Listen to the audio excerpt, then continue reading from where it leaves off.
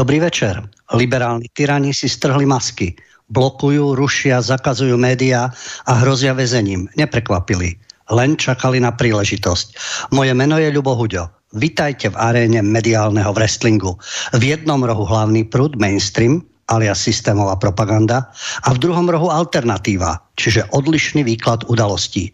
Nechýbajú podpásové údery, fake news, hoaxy a demagógia. Pravidla nie sú a rozhodcom je každý z nás. Nad arénou sa vznáša kritické myslenie, no každý si ho predstavuje po svojom. Od tejto relácie neočakávajte neuveriteľné odhalenia a nostradamovské vízie, ale informácie, ktoré stoja za pozornosť a zamyslenie sa. V poslednej polhodinke od 21.30 môžete telefonovať na telefónne číslo 048 381 01 01 a počas celej relácie písať maily na adresu studio zavináč slobodnyvysielac.sk Dnes budeme mať hostia Jižiho Wagnera, bývalého plukovníka vojenského spravodajstva, odvážneho človeka, ktorý je nepohodlný pre svoje analýzy, ale ktorý sa nenechá len tak zastrašiť. No a preto prišla aj pomsta a zrušili mu jeho web Exantro. Podal trestné oznámenie na premiéra Petra Fialu, na ďalších členov vlády, vrátane ministra vnútra, ministerky obrany, riaditeľa vojenského spravodajstva, takisto na spoločnosť cz.nic ako prevádzkovateľa českej domény, spoločnosť, ktorá poskytuje hosting web blog, ale aj na seznam správy CZ, sme na vládnej úrovni aj na mediálnej a na českých elfov. Ale o tom už bližšie, keď sa budeme rozprávať s hosťom. Najprv tak ako tradične, tých prvých 15 minút, budú správy z mediálnej scény z domova i zo zahraničia.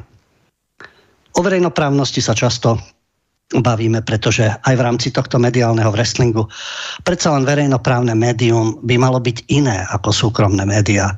Tam platíme všetci svojím spôsobom výpalné, čiže koncesionárske poplatky a názory by mali byť zastúpené každého názorového spektra, nielen to, čo vyhovuje vláde, systému alebo súčasnej zahranično-politickej orientácii, ale nie je to tak. U nás došlo k zmene na Slovensku, pokiaľ ide o verejnoprávnu televíziu, rozhlas a televíziu Slovenska RTVS. No a práve od včera je tu nový riaditeľ Ľuboš Machaj. Už v predchádzajúcich reláciách som poukazoval na to, od akého prostredia ten človek prichádza, kým sa chce obklopiť a ako asi bude vyzerať tzv. verejnoprávnosť. Jedna z tých zásadných informácií je, že na dôležitú pozíciu šéfky spravodajstva Spravodajstvo je, aké je, či pozeráte uh, doslova naše televízne kanály alebo iné kanály, napríklad v Českej republike, vzhľadom na tú jazykovú zrozumiteľnosť, tak častokrát sú to skutočne kanály, ktoré zavádzajú, ale tá verejnoprávnosť je žiaľ v tom istom duchu. A je to dôležité, pokiaľ ide o spravodajstvo. Charakter, aký majú komentáre, diskusné relácie, opäť v jednom názorovom smere. Nepripúšťa sa polemika a keď tak len taká, taká bezuba, taká, ktorá neuškodí ani systému, ani tým hlavným protagonistom, či je to v médiách alebo na vládnych pozíciách. Takže tentokrát na dôležitú pozíciu šéfky spravodajstva nastúpi síce dlhoročná novinárka, ktorá však pracovala aj pre politickú stranu. Mária Hlucháňová. Je to momentálne aktuálna redaktorka denníka Pravda, Opäť, keď sa pozastavíme aj pri printových médiách alebo elektronických, pokiaľ ide o hlavný mediálny prúd, a je to úplne jedno, či sú tie noviny tzv. pravicovej orientácie, tzv. ľavicovej orientácie, v akých súkromných rukách, aký mediálny dom to vlastne, alebo filantrop, alebo aké vydavateľstvo. Charakter správ je na jedno kopito.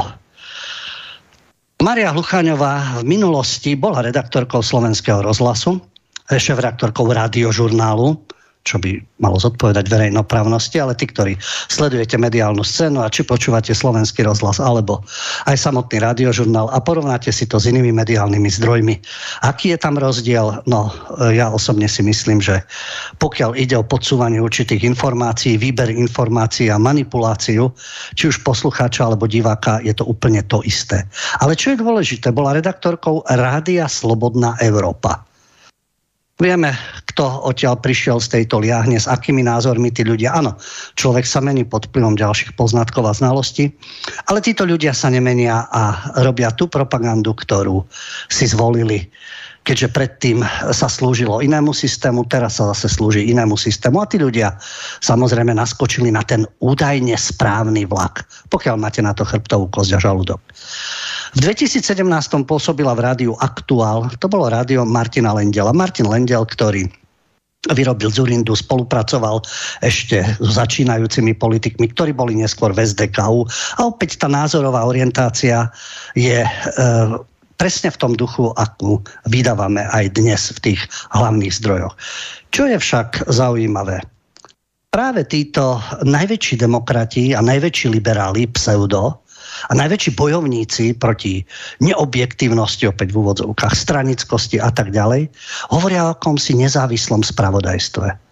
Vždy to počujeme, nezá, nezávislí. Všetci sú nezávislí, pochopiteľne. Potom sa odhalí, na kom sú vlastne závislí.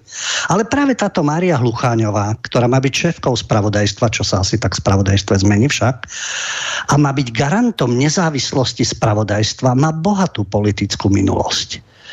Svojho času odišla z médií a pôsobila v KDH, Kresťansko-demokratické hnutie. Tam bola riaditeľkou komunikačného odboru. Neskôr bola šéfkou prezidentskej kampane Pavla Hrušovského a jeho odbornou poradkyňou, poslaneckou asistentkou, dokonca aj na kandidátke tejto strany. Čiže jasná politická profilácia. Riaditeľ verejnoprávnej televízie povie zaujímavú myšlienku, teda povedal vzhľadom na politickú minulosť Hlucháňovej, čo nepovažuje za problém. V poriadku nebol by to problém, keby sa to nevyčítalo u iných.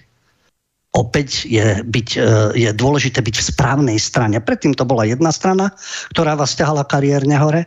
Teraz je tých e, strán viac. Ale opäť to musia byť určité správne strany správne orientované, to už poznáme, proevropský, NATO, EU, európske hodnoty a všetky tieto dnešné oficiálne frázy a táraniny, ktoré náramne pripomínajú frázy a táraniny z predchádzajúceho režimu. Len sú taktickejšie.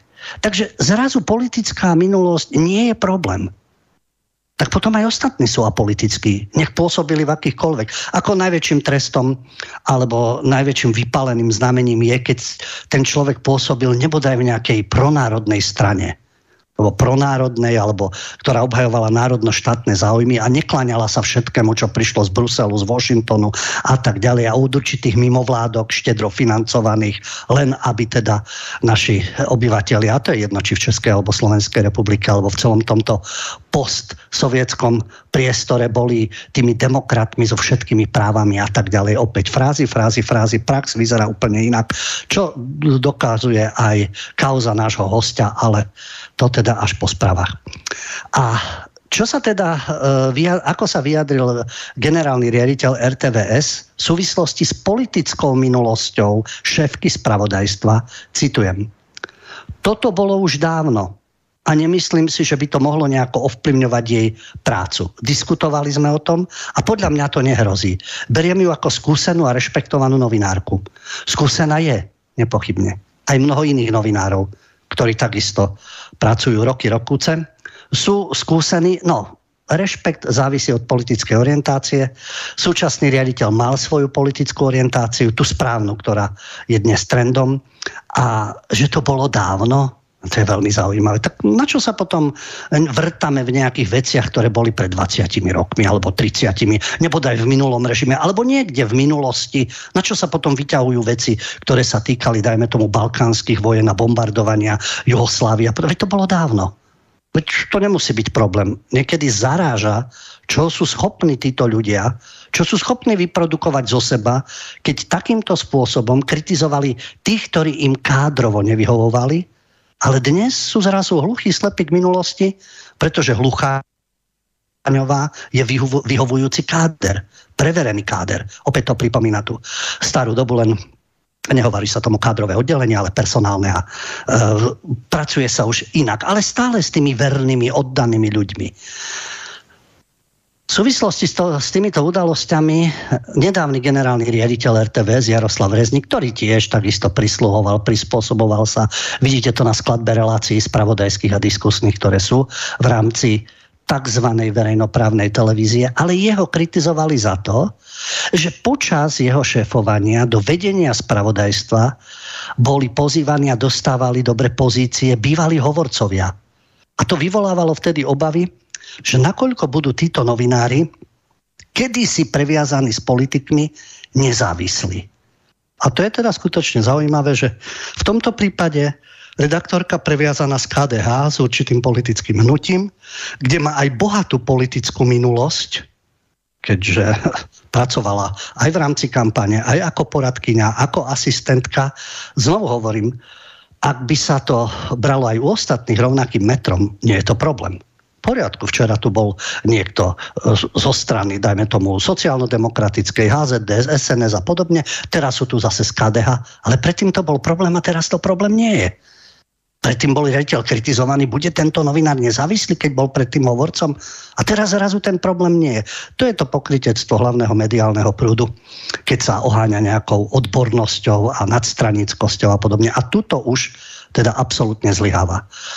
Ďalší príklad verejnoprávnosti od našich susedov z Českej republiky, aspoň vidieť, ako to rovnako funguje, to je zase e, propaganda, takisto ako u nás, na ktorú sa pozrel skúsený žurnalista, publicista Petr Bohuš, ktorý na portále Modrý jelen sa pozrel na to, ako redaktori newsroomu ČT24 pristupujú k divákom, ako im podsúvajú, čo je pravda a túto propagandu ako on sám hovorí, treba odhaliť a nastoliť nápravu. A nestačí len ospravedlnenie. Išlo o reportáž covidové dezinformácie, dnes sa tiež budeme zaoberať dezinformáciami. Ako náhle neopakujete ako papagaj a hlavný mediálny prúd a oficiálnu propagandu, tak ste dezinformátor. Než máte iný názor. Ste dezinformátor a agent niekoho, samozrejme. No a ide o túto reportáž covidové dezinformácie, s čím prišla Česká televízia televízia v rámci uh, newsroomu ČT24 na konci minulého roka, ale tieto veci sú stále aktuálne. A vlastne občianskú iniciatívu Zdravé fórum označili za antivaxerskú skupinu a šíriteľov nezmyslov a dezinformácií. Takisto by sme mohli kriticky povedať, že aj médiá hlavného prúdu častokrát šíria nezmysly, polopravdy a dezinformácie. Zdravé fórum bolo vtedy prezentované ako jeden z kanálov, ktorými sa dezinformácie dostávajú k ľuďom. Prišla táto sťažnosť advokáta Tomáša Nilsena a konštatovala, že vlastne Česká televízia touto reportážou Rada na to zareagovala, Rada Českej televízie a potvrdila, že Česká televízia touto reportážou porušila vlastný kódex. Pretože pokiaľ niekoho vo vysielaní označíte za dezinformátora, aj podľa Rady Českej televízie to musíte dokázať. A tým, že druhej strane nebol poskytnutý priestor k vyjadreniu, tým bol porušený kódex. A televízia, verejnoprávna Česka sa no, odvolala. Zdôvodnila to tým, že bol malý časový priestor. Aj podľa rady je to neakceptovateľné. Čo to je za výhovorku? Dáme jeden názor. My máme málo času, viete, dajme tomu tých 15-20 minút, ale e, tam sa nám už ďalší nezmestia, len jeden názor. To je verejnoprávnosť. To je objektívnosť. No a tam je ten termín dezinformátor, ktorým sa len nálepkujú ľudia s iným názorom. Takže aj podľa tohto publicistu ktorý odhaľuje túto kauzu, je to propagandistická žurnalistika. A neodhaľuje podstatu veci, nepátra po pravde, neodhaľuje skutočnosti, nie. Len akýkoľvek iný názor vydáva za klamstvo. Všetko ostatné, čo nehlása, nehlásajú redaktori ČT24, dajme tomu, sú výmysly Všetci dezinformátori, dezinformátormi, ale to nemá nič spoločné so žurnalistikou. Takže aj podľa Bohuša divák sa má na základe roz, informácií rozhodnúť, kde je pravda. Aj dnes budeme rozoberať problém, kde je pravda, ale nie, že o tom rozhoduje redakcia. Redakcia, ktorá je presvedčená, že robí žurnalistiku, nie robí propagandu. A tak ako tvrdí aj tento novinár, to nemôže ísť do nekonečna. S tým sa musí niečo urobiť. No, áno, musí sa niečo urobiť, ale vidíme, že aj v našich podmienkach to sa dostáva do určitých pozícií. To tam zase zasadne, ako to bude vnímať. Ale keďže s dnešným našim hostom sa budeme rozprávať aj o zahraničnej politike, a týka sa to Ukrajiny a súvisí to teda aj s jeho analýzami a s výhradami vládnej moci a prisluhovackého mainstreamového systému, tak ešte jedna informácia, ten rozdiel, ako informujú média. Dve mená. Bashar Assad a Volodymyr Zelenský. Aký je kontrast v mediálnom pokrytí. Zdroj Southfront.org je takáto stránka, ktorá sa venuje rôznym vojenským záležitostiam a tam je to porovnanie s tým, čo sa deje na Ukrajine a čo sa deje v Syrii. Stále aj teraz sa v Syrii bojuje. Izraelské nálety sú tam napríklad na hlavné mesto Damask. Zomierajú pritom vojaci a bombardované bolo aj medzinárodné letisko v Damasku. No tomu sa nevenuje pozornosť. Izrael predsa môže bombardovať. To nie je agresia. Tel Aviv totiž má argument, že letisko Damasku využíva Irán, aby transportoval zbranie do Sýrie, kde vlastne Teherán pôsobí v rámci protiteroristickej aliancie na pozvanie sírskej vlády. Takže to je v poriadku, aj čo sa týka Sýrie, aj čo sa týka Iránu. Nepáči sa to Izraelu, ktorý pokojne bombarduje zvrchovaný štát a média, kde sú médiá. Táto letecká kampaň ktorá sa začala v 2013 vlastne po iránskom zásahu do vojny v Syrii, takisto zástupnej vojny, pretože v pozadí je niekto, komu táto vojna vyhovuje, sa zintenzívnila, pretože pomáhajú si Irán aj Syria. A Izrael sa vôbec netají tým, že chce zavraždiť Bašara Asada leteckým útokom. Teraz si zoberte, e, chce niekto zabiť Zelenského leteckým útokom a je to martýr sveta či ho chce zabiť alebo nie, martyr je tak či tak, lebo médiá to vyrábajú. Ale Izrael a Asad nie je problém, lebo Asad nevyhovuje. Nech je aký je. Nech je na akej pozícii a nech sa deje niečo v Syrii. Jednoducho si povedali Spojené štáty, povedala si Saudská Arabia a Izrael, že nevyhovuje. Takže môžu bombardovať a zasahovať. A média čuš, čušia. Je zaujímavé, že napriek tomu, že Bashar Assad zostal prezidentom, 11 rok trvajúca operácia na zmenu režimu, vyzbrojovanie, výcvik teroristických skupín zo strany Spojených štátov, Británie, Izraela, priama vojenská akcia a Bashar Assad sa bráni, bráni svoju krajinu pred uh, rozvratom a destabilizáciou a nemá hrdinské oslavy, nemá niečo také ako Volodymyr Zelenský, ktorý je miláčikom mainstreamu. Ale prečo? A tu je práve to vysvetlenie. Tim Sycamore, Timber Sycamore je operácia CIA, ktorý jej cieľom bolo zvrhnúť Asada. A má korene v tom, že táraniny o demokracii a o právach a o arabskej jari, to je jedna rozprávočka, polievočka pre ľudí, ktorí stačí byť kde si na povrchu. A nie je to ich chyba, pretože nemajú čas sa dopracovať k iným informáciám. A keby sa aj chceli, tak sa zakazuje, likviduje a cenzuruje. Takže Bašar sa 2009 odmietol dovoliť Kataru, prepojeného so Spojenými štátmi, vybudovať plynovod cez Sýriu, lebo tým by podkopal svoj vzťah spojencom Ruskom. No, Irán a Hezbalah si vtedy uvedomili, že pokiaľ by Damask a Syria padli, boli by ďalší na rade. Takže tú revolúciu podporovanú Spojenými štátmi, ktorú tam rozputali, tak prišli pomáhať Asadovi a v podstate e, od 2013.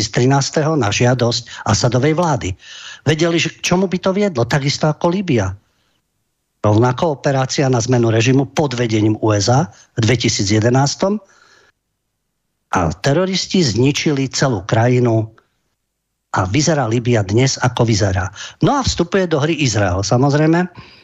V dôsledku toho zohral Izrael dôležitú úlohu v operácii zmeny sírskeho režimu, poskytol zbranie, výcvik teroristickým skupinám, ktoré ešte medzi sebou superia o zvrhnutie Asada, zosilnil svoje letecké útoky proti zvrchovanému arabskému štátu a zdôvodnil to, že vlastne bojuje proti iránskej expanzii v rámci regiónu.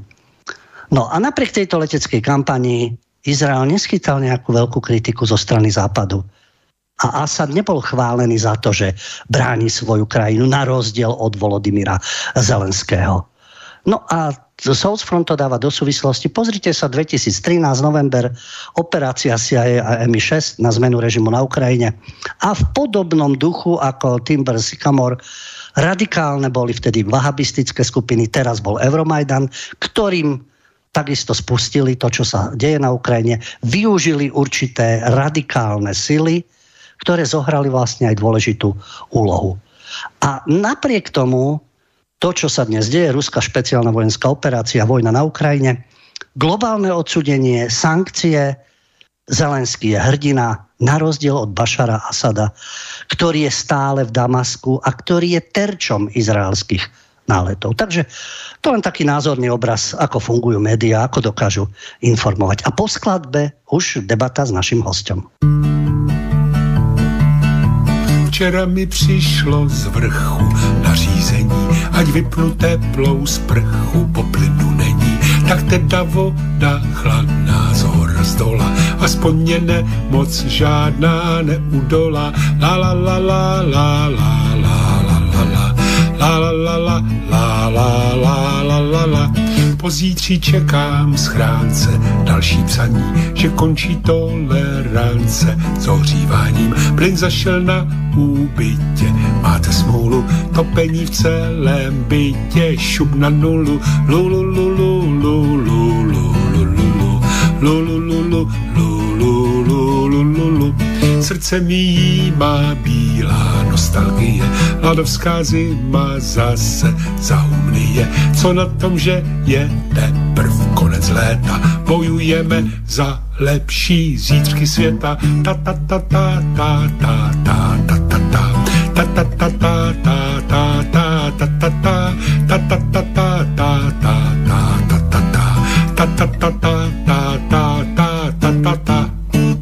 Vážení poslucháči, počúvate reláciu Mediálny wrestling. Od 21.30 môžete telefonovať na telefónne číslo 048 381 0101 a počas celej relácie písať svoje maily na adresu studio zavináč slobodnyvysielac.sk Dnes máme hostia, ja ho na začiatok aspoň čiastočne predstavím. Je to Jiži Wagner, bývalý plukovník vojenského spravodajstva ktorý spustil veľkú akciu. To sú trestné oznámenia, ktoré sa týkajú vlády. A o tejto kauze v Českej republike je zrejme podstatne pozornejšie sledovaná, ale je potrebné, aby sme o nej vedeli aj na Slovensku, pretože to je situácia, ktorá môže nastať kedykoľvek aj u nás. Takže ja vítam dnes v Jižiho Wagnera ako nášho hostia. Dobrý večer posluchačům. Dobrý večer.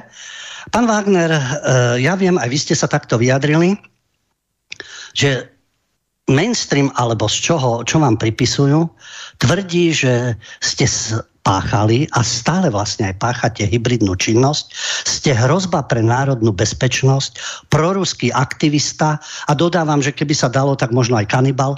Ale ako sa vnímate vy osobne, keď počúvate a čítate tieto nezmysly? Tak já bych uvedl nejprve, že mainstream teď v poslední době to opakuje především eh, po tom, co to řekla vláda, členové vlády a co to řeklo vojenské spravodajství. A tím pádem eh, si to převzal teď mainstream, i když někteří novináři už to o mě tvrdili i dříve, že páchám hybridní činnost, ale nikdo zatím tu hybridní činnost pořádně nevysvětlil. Všichni tvrdí, že hybridní činnost že pochází z Ruska, že to mají rusové vojenské doktríně, což je samozřejmě lež, protože slovo hybridní nenajdeme ve vojenské doktríně Ruska, nenajdeme to ani ve vojenské doktríně USA, ale to slovo hybridní nebo hybridní válečení, hybridní působení vymysleli američané, vymysleli to ty vojenští teoretici, ale moc se to neujalo. Ujalo se to akorát tady právě v tom mainstreamu, kterým se to zalíbilo a e, nechali se svést i trošku tím směrem, že to vlastně vymysleli e, Rusové. A z čeho já jsem tady, teď jsem vlastně naštěn z toho, že hybridní působení, víte, to je trošku takový, je to nesmyslný termín, směšný a navíc ono to není ani v trestním zákonníku, takže co to je vlastně hybridní působení, nikdo neví, jako, to je stejně jako dezinformátor, ale když vás někdo obviní, že jste dezinformátor, tak ani Tohle ještě není v zákoně, ale zase všichni víme, že u nás v České republice už se zákon na to připravuje, že když se někdo označí za dezinformátora, že se může vypnout, že se mu může něco zakázat a podobně ale dále mě označují, že jsem hrozbou pro národní bezpečnost. A to už je vážné, to už je vážné obvinění. Protože pokud jsem já hrozbou pro národní bezpečnost, tak to uvedlo vojenské zpravodajství. On to uvedlo u všech těch prvních osmi webů, ale já to teď stahuji k sobě jako provozovatel webu Exam Pro, což znamená exkluzivní analýzy a produkce. Takže když to uvedlo o mně, To znamená, že páchám ty nejtěžší zločiny vůči České republice a ty jsou podle trestního zákonníku rozděleny do tří kategorií. A tam patří e, například zrada, patří tam třeba podpora terorismu nebo i páchání terorismu, patří tam e, vyzvědačství, třeba spolupráce s nepřítelem a tak dále. Takže to už jsou vážná obvinění a samozřejmě jsou to křivá obvinění, protože nebyla nikdy ani v těch zprávách nebo dokumentech nikdy doložena jediným důkazem, jediným příkladem, že se tak stalo. My sme síce na mediálnej scéne v rámci mediálneho wrestlingu, mainstream versus alternatíva, ale vo vašom prípade je to ešte na vyššej úrovni. Vy ste to už aj naznačili. Tu už nejde len o média a mediálny obraz. Tu už ide o vládu, tu už ide o vojenské spravodajstvo, tu ide o zahraničnú politiku a zneužívanie moci. Mne to pripadá, mm, sa vás v tejto súvislosti opýtam, známy Roman proti všem, lebo vy žalujete vládu, rôzne médiá a podobne ako keby sám proti všem, ako Jirásek samozrejme, ale e, to sa týkalo husitov. Husiti predsa len mali tú armádu, aj keď bojovali. Ale vy ste v tom boji osamotení, alebo máte aj e, tým spolahlivých ľudí, ktorí sú okolo vás a pomáhajú vám? Tak mám samozřejmě na straně značnou podporu lidí, ale uh, vždycky i co se týče třeba stránek, já jsem provozovatel, že všichni si myslí, že eh, provozují jakousi firmu. Novináři pořád někdy říkají, že nenajdou example v obchodním listíku. Já říkám, ale proč by ho tam měli nacházet? Přeci nikdy nebylo psáno, že to je nějaká společnost s ručením, omezením a podobně. To je prostě Exampro je web, Exampro je komunita a já, pokud mám své zdroje informací, třeba i v zahraničí, tak já sám jsem zase jejich zdrojem. To znamená, vzájemně sdílíme určité poznatky, určité analýzy a já, pokud eh, schromažďuji informace, tak zase pokud já je publikuju nebo publikoval jsem na svých stránkách, tak jsem byl garantem toho, že byly ověřené a že byly samozřejmě odborné, že to byla odborná věc, že to nejsou takové ty lidové, senzacechtivé, nebo jak se říká, co na srdci, to na jazyku, ale opravdu odborné odborné informace. Takže podporu mám, ale teď i to trestní oznámení, i když samozřejmě se jsem eh, dával dohromady i na základě jiných uh, různých uh, doporučení a dále, tak podávám samozřejmě sám za sebe jako provozovatel webu Exampro. U nás je rovnaká atmosféra jako u vás, ale je to vlastně aj v jiných krajinách je to tá atmosféra ukrofilie a rusofóbie, by som povedal. Ako nekritický obdiv a schváľovanie všetkého, čo sa deje na Ukrajine, akýchkoľvek správ, či je to tlačová agentúra, či je to prezidentská kancelária, či je to generálny štab Ukrajiny, ukrajinskej armády, všetko sa absolútne verí, čo je z ukrajinskej pozície. A naopak, zase z ruskej je silná tá rusofobia, tam sa neverí absolútne ničomu. Idealizovať si nemusíme, pochopiteľne v rámci toho zápasu, súboja, aj média a tak ďalej. Nemožno 100% byť presvedčený, že áno, ten, tento kanál a tento kanál mi hovorí pravdu, jedni iba klamu, jedni hovoria iba pravdu. Ale to, čo ste aj vy naznačili, keď čítam, že vy ste proruský aktivista, ktorý vyvíja hybridnú činnosť, to ma zaujalo, pretože ja som nikde nenašiel, že by ste velebili politický systém v Rusku, že je to vzor. To väčšinou tvrdia títo hlásatelia hlavnej ideológie, že keď sa vám tak páči Rusko, obdivujete Rusko, chodte do Ruska, to s tým nemá nič spoločné. Ale vy nikde nevelebíte, nevelebíte politický systém v Rusku, neobdivujete Putina ako geniálneho vodcu, vy neospevujete socialistickú revolúciu VOSR, ktorá bola ani zásah v 68. Tak prečo je práve táto nálepka, e, veď nie, nie ste nejaký proruský, alebo problém je len v tom, že idete po faktoch? Já už jsem to vysvětloval několikrát, dokonce jsem uvedl i v trestním oznámení některé věci, kde jsem považoval za nutné jako osobní výpověď a tady to pramení z toho, jako je to běžná věc, že prostě pokud nejsem pro americký, pokud něco vadí na americké zahraniční politice, tak jsem jednoznačně proruský. No, ale zapomíná, zapomínají všichni novináři, že taky mohou být pro český. No, to už nikoho nezajímá, že to se dneska nenosí. Kde je pro český, tak je to špatně. My musíme být buď pro evropští nebo pro američtí. Jinak to prostě tak to nejde. A hlavně ta nálepka byla dána i v souvislosti s tím, pokud jsem uh, už v minulém roce začal hodnotit uh, tu novodobou kauzu Vrbětice, kdy jsem ukázal i jasné důkazy, už i z pohledu vojenského spravodajství, Eh, vojenského technického ústavu a tak dále, tak vlastně už mě začali novináři osočovat, že když to já takto spochybňuji, tak vlastně obhajuji Rusko, a obhajuji ty jejich agenty a podobně. Ale já jsem řekl, a vy si myslíte, že pokud, eh, kdyby to spáchala, spáchal někdo jiný nebo jiná země, kdyby obvinili třeba jinou zemi z těch odbětí, že bych postupoval jinak? Tam nejde přeci o to, kdo to spáchal, ale co se skutečně stalo kdo stojí prostě za těmito dezinformacemi, já tomu říkám, nebo odborně tomu říká klamná operace ze strany BIS za podpory zahraničního partnera a samozřejmě se spravodajskou fabulací. Takže tady vznikly ty různé dezinformace. A já bych ještě, nebo to moje nálepkování, že jsem pro ruský, ale to je prostě samozřejmě je to směšný, je to komický, protože tam, kde nejsou argumenty, tak se řekne je pro ruský. Ale ještě bych jenom doplnil, vy jste v úvodu tady mluvil, to porovnával jste Asada a Zelenského. Já bych tady doplnil, že jsem to taky několikrát už dělal ještě před tou ruskou invazí i dříve. E, tam samozřejmě i v rámci české televize, veřejnoprávní české televize, že se neustále e, v publicistických pořadech na televizi objevovaly debaty o Donbasu, o tom, e, jak tam Rusko posílá své vojáky. Já tohle to samozřejmě nepopírám, Rusové tam své vojáky měli, Eh, dokonce tam personálně podporovali i ty bojovníky a připravovali samozřejmě si už i soukromé bezpečnostní armády a to říkám, že si převzali, přizpůsobovali se od Američanů, kteří s tím letím začali, mají v tom zkušenosti po světě, takové ty private security companies, bezpečnostní soukromé společnosti. A k tomu jsem právě chtěl říct, že právě se vůbec nevěnovali Sýrii, kde ještě do teďka nyní na území Sýrie působí tisíc amerických vojáků a bezpečnostních kontraktorů, což je jasné porušení mezinárodního práva, ale nikomu to nevadí. A dále tam působí samozřejmě nezákonně, neoprávněně i turecké ozbrojené síly na severu Sýrie.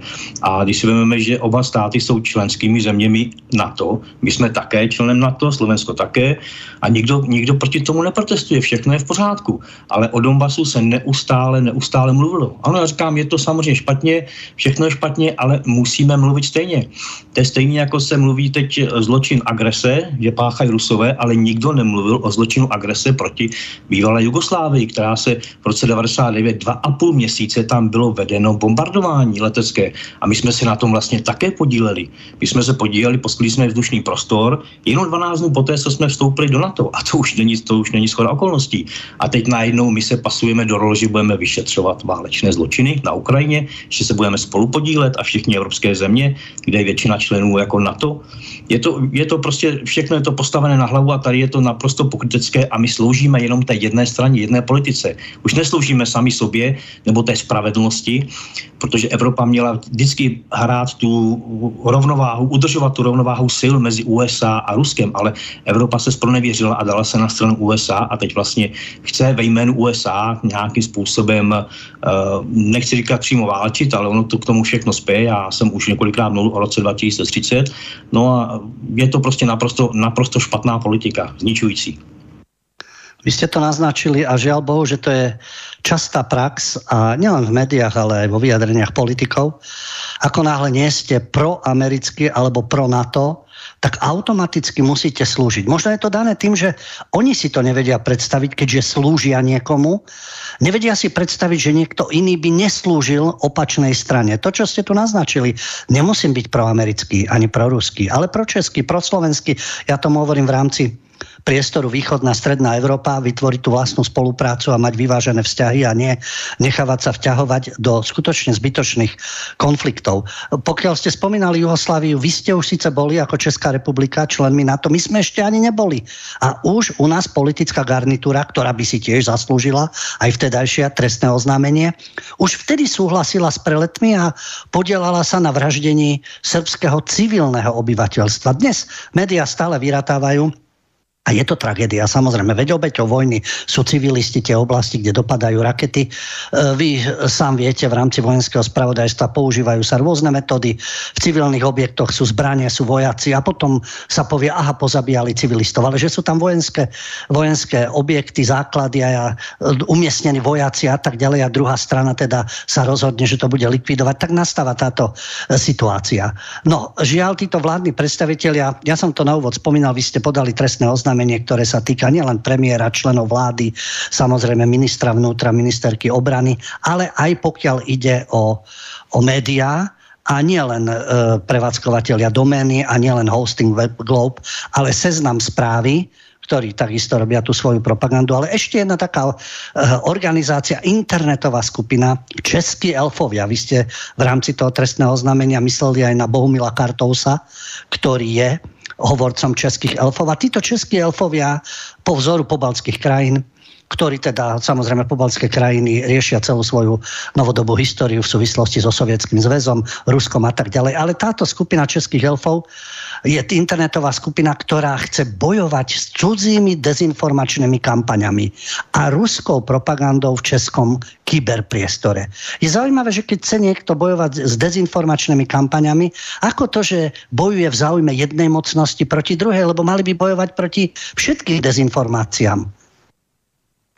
No, ty čeští elfové, já bych to trošku upravil. Není to přímo na české elfy, je to zatím teda na Bohumila Kartouse, to trestní oznámení. Je to samozřejmě členové vlády, tam především pre, premiér Fiala, minister vnitra, jak už jste uvedl, ale je to potom dál jako vláda jako celek, protože vláda jako celek, všech, teď máme 18 ministrů, včetně, myslím, premiéra, takže vláda jako celek úkoluje, řídí a kontroluje vojenské spravodajství všechny české spravodajské služby, máme tady tři. Takže a já už jsem tam popisoval, že tam byl i vydán, pravděpodobně je tam i úkol číslo 135 lumeno D, důvěrný úkol vojenskému spravodajství, pravděpodobně souvisel s tím zablokováním webu. Ale i kdyby nebyl vydán, tak vojenské spravodajství si nemůže dovolit. To je skandální věc, to je horší, já jsem to už říkal, to je horší než STB, než státní bezpečnost, protože státní bezpečnost byla alespoň orgánem činným v trestním řízení. Ale co je vojenské spravodajství? To je jenom spravodajská služba bez nějakých těchto pravomocí, má podporovat rozhodovat rozhodovací proces vlády a ne, že ona si vypíše seznam webů, které budou umlčeny a i odstraněny. Můj web byl hned po týdnu odstraněn dokonce, takže už se neplánovalo, že by byl znovu spuštěn. A vláda s tím musela souhlasit. Pokud by s tím vláda nesouhlasila, tak by už musela ředitele vojenského zpravodajství Jana Berouna řešit. Musela by ho řešit, musela i personálně a dokonce i jak už jsem já tady použil čtyři paragrafy, které byly spáchany vůči mně, tak už i ho řešit za zneužití pravomoci úřední osoby, protože příslušníci ozbrojených sil, příslušníci bezpečnostních sborů jsou úřední osoby. A toto je zneužití pravomoci úřední osoby, protože překročil svoji zákonnou působnost. Vy ste to vlastne aj v rozhovoroch už povedali otvorene, že prečo je to trestné oznámenie. To trestné oznámenie je kompletné, vrátanie príloh si ho možno stiahnuť. Máte svoju facebookovú stránku, keďže webovú stránku vám zrušili, takže nie je problém sa dostať ku kompletnému trestnému oznámeniu. Ale vy ste sa sám vyjadrili, že oni vlastne, táto vláda česká, porušujú ústavu a listinu základných práv a slobod zneuž- je to zneužitie úradnej osoby. Oni si prisvojili právomoci a ohovárajú krivé obvinenia a tak ďalej. Ale vy e, samozrejme kritizujete túto činnosť, pretože prekročili tie pravomoci úradnej osoby a tam je sadzba až 10 rokov. A je to závažný zločin. To bude zaujímavé, ak e, skutočne to naberiete obratky a tí ľudia budú súdení za závažný zločin. Ale pokiaľ to e, odložia, tak sa ukáže, že či policia a štátne zastupiteľstvo sa bojí a či do toho vstúpi. Aké máte zatiaľ informácie? Viem, že myslím v priebehu mesiaca vás mali informovať, či, budú, či policia bude celú vec preverovať a či sa chystá e, v tej dobe dáte da, asi aj ďalšie trestné oznámenia. Takže ako to vyzerá, pokiaľ ide o štátne zastupiteľstvo a policiu a ochotu vstúpiť do toho? Ano, hned vám na to odpovím, dokončím ty čeští elfy, protože jsem to nedopověděl. Ano. Uh, jenom jsem chtěl říct, že tam jsem teda podal trestní oznámení i na jednotlivé osoby, jako třeba senátorku uh, Němcovou a několik poslanců, je tam i Bohumil Kartous, pak i pak je tam i uh, Máca, který patří do jakéhosi institutu a to jsou všichni lidé, kteří byli zváni do České televize hned po tom zablokování webů a vyjadřovali se, jenomže vyjadřovali se tím způsobem, že šířili trestné pomluvy a trestné křivé obvinění. A to jsem nemohl nechat být, takže jsem je zapracoval do toho trestního, eh, trestního oznámení. Takže pokud uh, třeba kartou tam šíří to, že já, pod, že já podporuji proklamelskou nějakou propagandu a že schvaluji válku na Ukrajině a tak dále, to je samozřejmě křivé obvinění z trestného činu. A zatím se to teda netýká přímo českých elfů, ale právě když jsme prověřovali Bohumila Kartouse, a tak dále, kdo vlastně působí, tak jsme zjistili zajímavé věci na webu Čeští elfové, kde dokonce oni píšou, že v jejich řadách působí vojáci a policisté. No ale to je velmi, to je další skandální věc a já jsem do toho trestního oznámení i pro policii zapracoval v pátém bodě, protože to trestní oznámení, ono je rozsáhlé, je obsáhlé, skládá se z dvou částí, dohromady má 410 stran. První základní část má 210 stran a pak je přílehová část, kde jsou i takzvané listinné důkazy, tam má těch 200, 200 stran, kde jsou ale i ty podpůrné dokumenty a, a další věci eh, z webu Exampro. Pro. A čeští elfové, a tam jsem právě zapracoval to výčtu otázek, to je pro proces dokazování a potvrzování toho, že byly spáchány trestné činy, tak tam je zapracování otázky pro premiéra, pro ministry obrany a pro eh, ministra vnitra právě o těch češtích elfech, jestli vůbec ví, že v řadách českých elfů pracují vojáci i policisté a pokud to ví, tak jak vysvětlí, že jim to nevadí. A pokud o tom neví, tak jak vysvětlí, že mají takovou nevědomost. Protože to, že tam někde na tom webu, který je personálně utajen, je vlastně konspirační. Tohle to je web konspirační. Ne, že ono si trošku pletou, že je trošku rozdíl, se řekne konspirační web a web o konspiracích. Ale tento konspirační web skutečně jako je utajeně, já už jsem se na něj díval, je zaregistrován pod jistou osobou a je tam adresa v Berlíně. Tak to je taky další zajímavá věc. Takže buď je to, jsou to čeští elfové, němečtí elfové, a, ale tady zpátky těm otázkám, takže tam by si to měli ujasnit a dokonce jsem tam položil otázky, jestli třeba může ministrině obrany vyloučit, že by byl společeští elfové provozován nebo podporován vojenským spravodajstvím. A na ministra vnitra, jestli třeba není provozován úřadem pro zahraniční styky a informace, což je civilní rozvědka. A premiéra se ptáme, jestli třeba není provozován bezpečnostní informační službou, že to k tomu všemu spěje taky může být eh, podporován Centrem proti terorismu a hybridním hrozbám. To je taková to zase novodobá eh, takový, taková, eh, takový spletanec, co působí pod ministerstvem vnitra, že zase taky proti dezinformacím. Takže to je docela zásadní. Tady se teď odhalují takové věci a já jsem velmi zvědavý, jak k tomu přistoupí.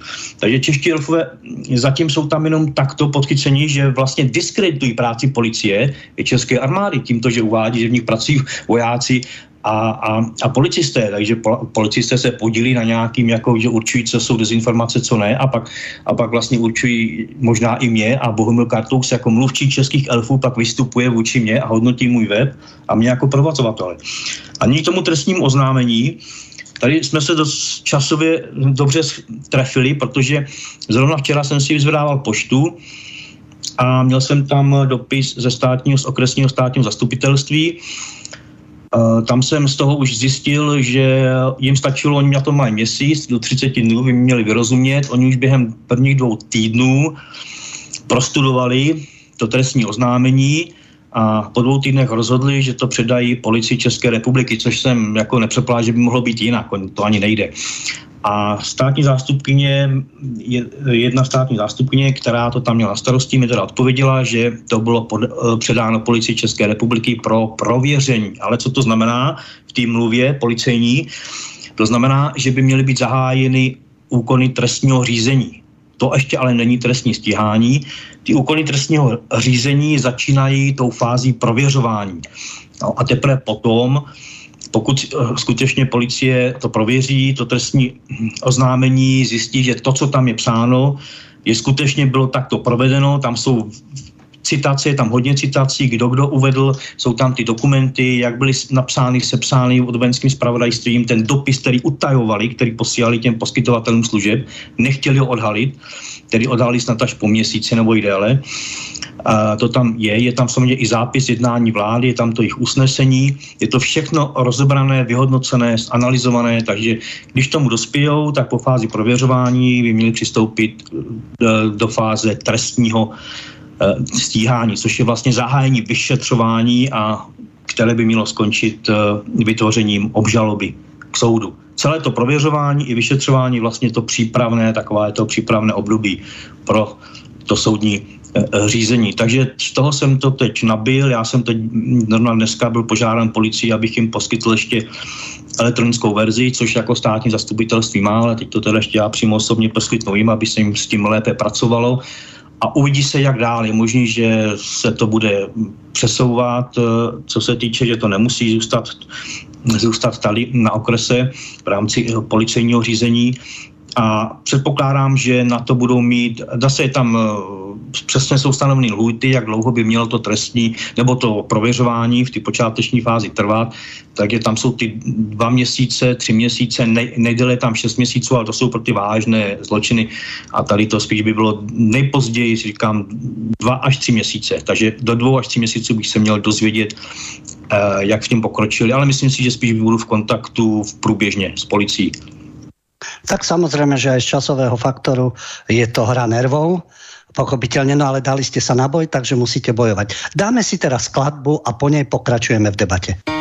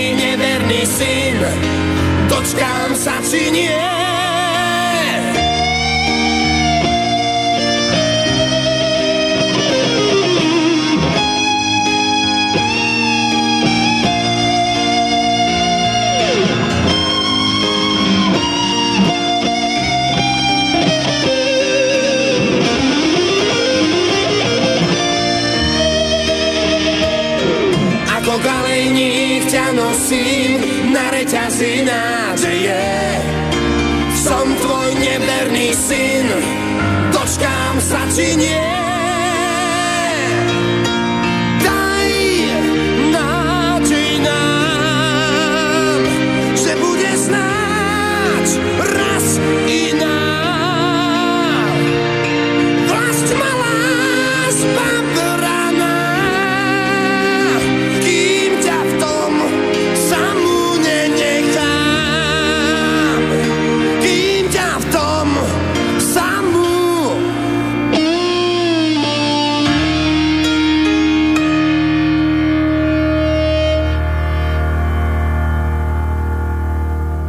Vážení poslucháči, počúvate reláciu Mediálny wrestling. Dnes máme v našej relácii hostia Jižiho Wagnera, bývalého plukovníka vojenského spravodajstva, ktorý podáva trestné oznámenie na vládu a proti ktorému sa vedie e, veľká kampaň. Rozprávame sa práve o tomto trestnom oznámení, o praktikách, ktoré používa vláda a ten nátlak, ktorý sa e, vytvára. Vy ste spomínali o hovorcu českých elfov Kartousa. E, ja si len skromne dovolím podotknúť, že keby verejnoprávnosť bola o niečom a to je jedno, že či v Českej republike alebo u nás, tak si viem predstaviť debatu, že do štúdia príde pán Kartous, prídete vy, pán Wagner a otvorene debatujete argumentujete a ten moderátor má byť natoľko vyspelý, aby dal priestor jednej aj druhej strane a umožnil divákovi, respektíve poslucháčovi, vytvoriť si vlastný názor. Ale takto to nie je. Žiaľ, že to takto nie je. Ale pokiaľ sme na mediálnej scéne, aj v súvislosti teda s vašou zrušenou stránkou exanpro.cz, tak zatiaľ, čo niektorí tí prevádzkovateľia zablokovaných internetových stránok už aj svoju činnosť obnovili, napriek tomu, čo predtým bolo teda to zakazovanie a blokovanie. E, vy k ním nepatríte. A e, aj keď tu boli otázky, že či nechcete svoj web spustiť niekde inde, tak ste to odmietli práve s tým, že vy nie ste ani proruský, ani proamerický, ale pročeský. Tak práve preto chcete v Českej republike mať svoj web a prevádzkovať to pod českou domenou. Nezmenil sa zatiaľ váš názor? Zatím, zatím ne, sice o tom přemýšlím, ale mm, víte co, já teď trošku čekám, jak k tomu přistoupí uh, státní orgány, protože já jsem také k tomu doplnil, chci být, chtěl jsem být vždycky na české doméně, že nechtěl jsem, jak říkám, utíkat do doménového exilu. A už, už určitě nechci, nechci měnit uh, název Exanpro no, a dostávat jako na české doméně, což bych mohl změnit. Oni to udělali tak chytře, že uh, po týdnu jsem dostal zprávu, že můj web bude smazán, bude odstraněn.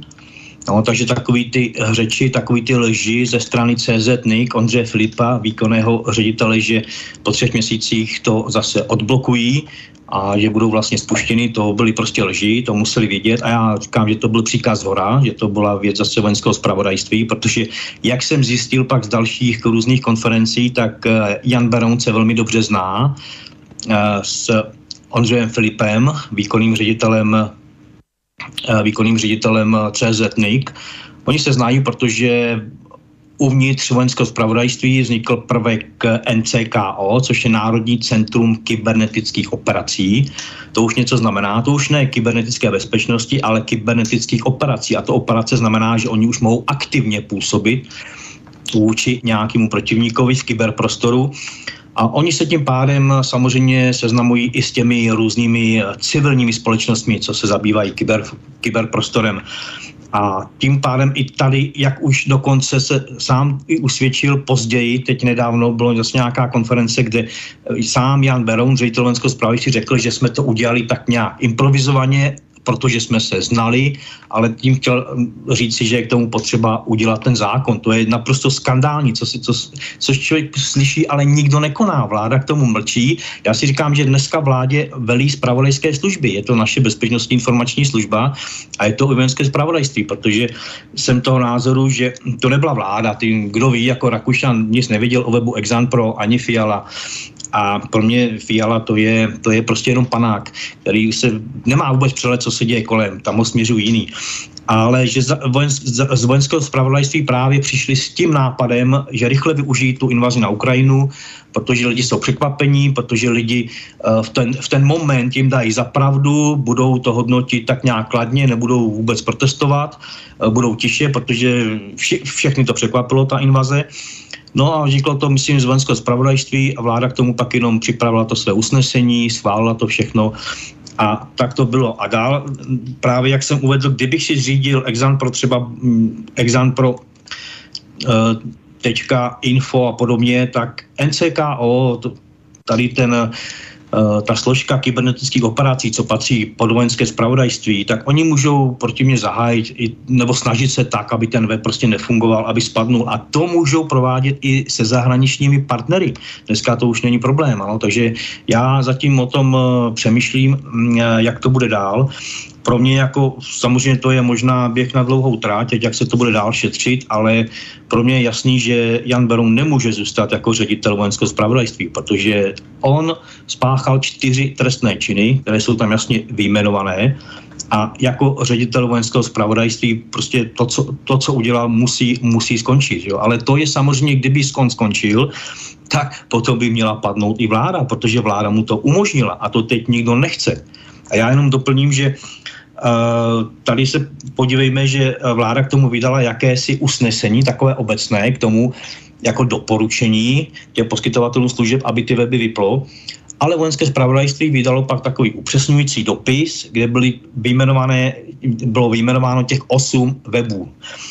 Těch osm webů. A ale vláda se o to dává ruce pryč, že oni nic vlastně, oni jenom doporučili. Ne, oni nedoporučili, protože je úplně jedno, jestli to bylo vyjmenováno, ty weby, jestli byly vyjmenovány ve, v dokumentu vojenského zpravodajství, nebo v tom usnesení vlády, protože to vyjde úplně na stejno. Jestliže si to dovolilo vojenské zpravodajství, tak tím pádem si to dovolila i vláda, protože ona řídí vojenské zpravodajství, ona, ona ho úkoluje a ona mu to umožnila. Tady to bylo uděláno tak, já jsem to popisoval, bylo to uděláno, já jsem tomu nazval, nechtěl jsem to říkat jako zločinné spolčení, protože zase tam není zase vyložené, aby, že by toužili po zisku, ale nazval jsem to jako organizované spolčení, kdy si tady ty všichni zapojení aktéři tu trestnou činnost, já tomu říkám taková dělba trestné činnosti, kdy se vzájemně kryli. Oni si to vzájemně řekli, CZ někdy řekne, no to vláda doporučila, nebo vojenské zpravodajství nám řeklo, že to máme zablokovat. Vláda řekne, my ne, my jsme vydali obecnou výzvu, vojenské zpravodajství k tomu mlčí, protože řekne, že my jsme zpravodajská služba, my se nevyjadřujeme. Jenomže to udělali, to je omyl, to je chyba, protože oni vstoupili do veřejného prostoru, do soukromého prostoru, oni působí na civilní osoby, mimo státní zprávu a tím pádem vystoupili z té své ulity a teď se k tomu budou muset vyjadřovat a bude se to muset řešit. Keď hovoríte o tom blokovaní tých 8 webových stránok, vy ste to uvádzali aj na svojej webovej stránke, pardon, na facebookovej stránke Exantro a išlo o to uznesenie Senátu Mestského súdu v Prahe. Čo chcete podrobiť odbornej analýze, alebo ste už aj podrobili a doplniť e, podanú trestného oznámenia. Vy ste tam e, vlastne písali aj o tom prepojení politickom, že ten súd nemusel oznámiť svoj názor na blokovanie webových stránok, keď žalobu odmietol a nezaoberal by sa ňou. Napriek tomu z nejakého dôvodu, asi je jasný ten dôvod, podporoval štátne subjekty pri blokovaní webových stránok. A ešte ste tam dodali, že sudca Štepan Výborný je bratom poslanca Marka Výborného z KDU ČSL, ktoré, ktorá je vlastne stranou vládnej koalície. Takže ono, tam sú aj tie politické prepojenia a v pozadí tie špinavosti vlastne politické. Niekto by to povedal, že to je konšpirácia, ale nie je to konšpirácia v tom zmysle, že by ste si niečo také vymysleli. Tak sudca, jeho brat prepojený politicky a vlastne súd sa zaoberá niečím a podporuje štátne subjekty preto, aby zablokoval webové stránky. Tak toto je skutočně jako, dá se povedať, vysoká politická hra. Tomu bych řekl, že ten soud se samozřejmě netýká mého trestního oznámení. To ještě, to ještě trošku, to jsme ještě hodně trochu daleko. Tady to bylo přímo, nevím od koho, tam to samozřejmě nebylo jmenováno, to jméno toho občana, prostě nějaký občan podal Eh, žalobu k soudu a kde si stěžoval, že nemá přístup, že mu byl odepřen, jeho, že mu byly odepřeny práva, že nemá přístup k těm zablokovaným webům. A já jsem se podíval na to usnesení soudu. Ten soud, za prvé, ten soud to vlastně neřešil, tu žalobu, protože tam, uh, protože shledal, že nebyly splněny ty uh, stanovené podmínky zákonem, aby se tou žalobou mohl zabývat věcně. Já jenom ještě upřesním, že tam snad šlo o to, že dokonce ten občan už si už si jednou stěžoval nebo už podal jednu žalobu se stejným, se stejným obsahem a snad dokonce i u stejného soudu, tak samozřejmě tam to už nelze takhle opakovat. Ale přesto ten soud, i když mohl říct jenom, že tu žalobu odmítl, a z jakého důvodu ji odmítl, tak se stejně k tomu vyjádřil. Řekl tam své stanovisko, co si o tom myslí. A tam se tam já tady jenom ocituju, co řekl, protože tam řekl jednu věc, která je vyloženě lživá, On tam řekl, že soudu je obecně známo, že veškeré internetové stránky, jejichž vypnutí žalobce rozporoval, byly nadále dostupné pod jinými koncovkami, to jest na jiných internetových doménách. Uživatel internetu, který chtěl tyto informace nadále přijímat, je tedy mohl nadále získat. Což je ale lež, protože on řekl, že veškeré vypnuté weby, uvedl tam doslova to slovo veškeré, byly přístupné na jiných doménách, ale u mě se to tak nestalo. Já jsem nikdy nezaložil jinou doménu nebo nepřešel někam jinam. To znamená, že tady soudce Štěpán Výborný lhal. Jednoznačně lhal a to mě udivuje, protože jak může soud říct něco, že je mu něco obecně známo, když to, co mu má být známo, vlastně eh, není, není pravda, ale lež. Takže už z toho důvodu, a samozřejmě on tam pak říká, že eh, obhajuje vládu vlastně jako soudce, že vláda nic nenařídila, nebo neboli vojenské spravodajství nic nenařídilo, že to bylo jen doporučení. Ale jak může být něco jenom doporučení, když je tam uveden seznam webů, webu a když eh, vlastně vojenské spravodajství říká, že tyto weby ohrožují národní bezpečnost, že vlastně tady šíří cizí propagandu a tak dále. A dále bych se zeptal toho soudce, jak je možný, že tvrdí, že to bylo jenom doporučený. Když tam zase uvádím listinný důkaz, víme, že minister vnitra i minister eh, průmyslu a obchodu, tedy Rakušan, Vít Rakušan a Josef Sikela, poslali dopis, no to byla odpověď poskytovateli služeb, jeden poskytovatel služeb se ptal, zdali je to všechno v pořádku, za to teda můžou vypnout, za to nenaruší takovou tu síťovou neutralitu a oni mu psali, odepsali, ten dopis byl centrálně připraven, ten byl schodný, že jo, jak od ministra vnitra, tak od ministra průmyslu a obchodu. Ale tam byla jedna, zaj... no tam víc zajímavých věcí, ale jedna, tam byla vůbec byla do očí jedna věta, kde tam bylo napsáno, já to teď řeknu svými slovy, kde bylo napsáno, a já to stáhnu na ministra vnitra Víta Rakušana, který tam říká, že zablokovat tyto weby, které určilo vojenské spravodajství, je nutné pro, to, pro obranu národní bezpečnosti. Takže minister vnitra už říká poskytovateli služeb, to snad bylo nějaká ta asociace mobilních sítí, že zablokovat tyto weby je nutné. To není už doporučení. A navíc on tam ještě minister vnitra jasně přiznává, že oni ten dokument vojenského spravodajství s těmi určenými weby schvalují, protože on řekl, že ten seznam od vojenského spravodajství, který byl dán s těmi weby, je nutný prostě splnit. Je, je, nut, je to nutné z hlediska obrany národní bezpečnosti. Takže to už není doporučení, to je natolik skandální a všichni mlčí. Naši zákonodárci taktéž, bude by ne, protože tam jsou samozřejmě většina toho pětikoaličního stence. Vy jste vzpomínali vlastně v souvislosti s premiérom Fialom, že uh, nie je to žiadne prekvapenie, mnoho premiérov a rôznych politických predstaviteľov sú skutočne bábky a niekto iný je v pozadí, ale dokážu zmasírovať verejnosť tak, že zvolí určité politické strany a potom ich pohlavári sa stávajú premiérmi a podobne. A hovorili ste aj o tom nátlaku z hora, ktorý je, a vlastne ste aj naznačili, že môže byť za tým vojenské spravodajstvo.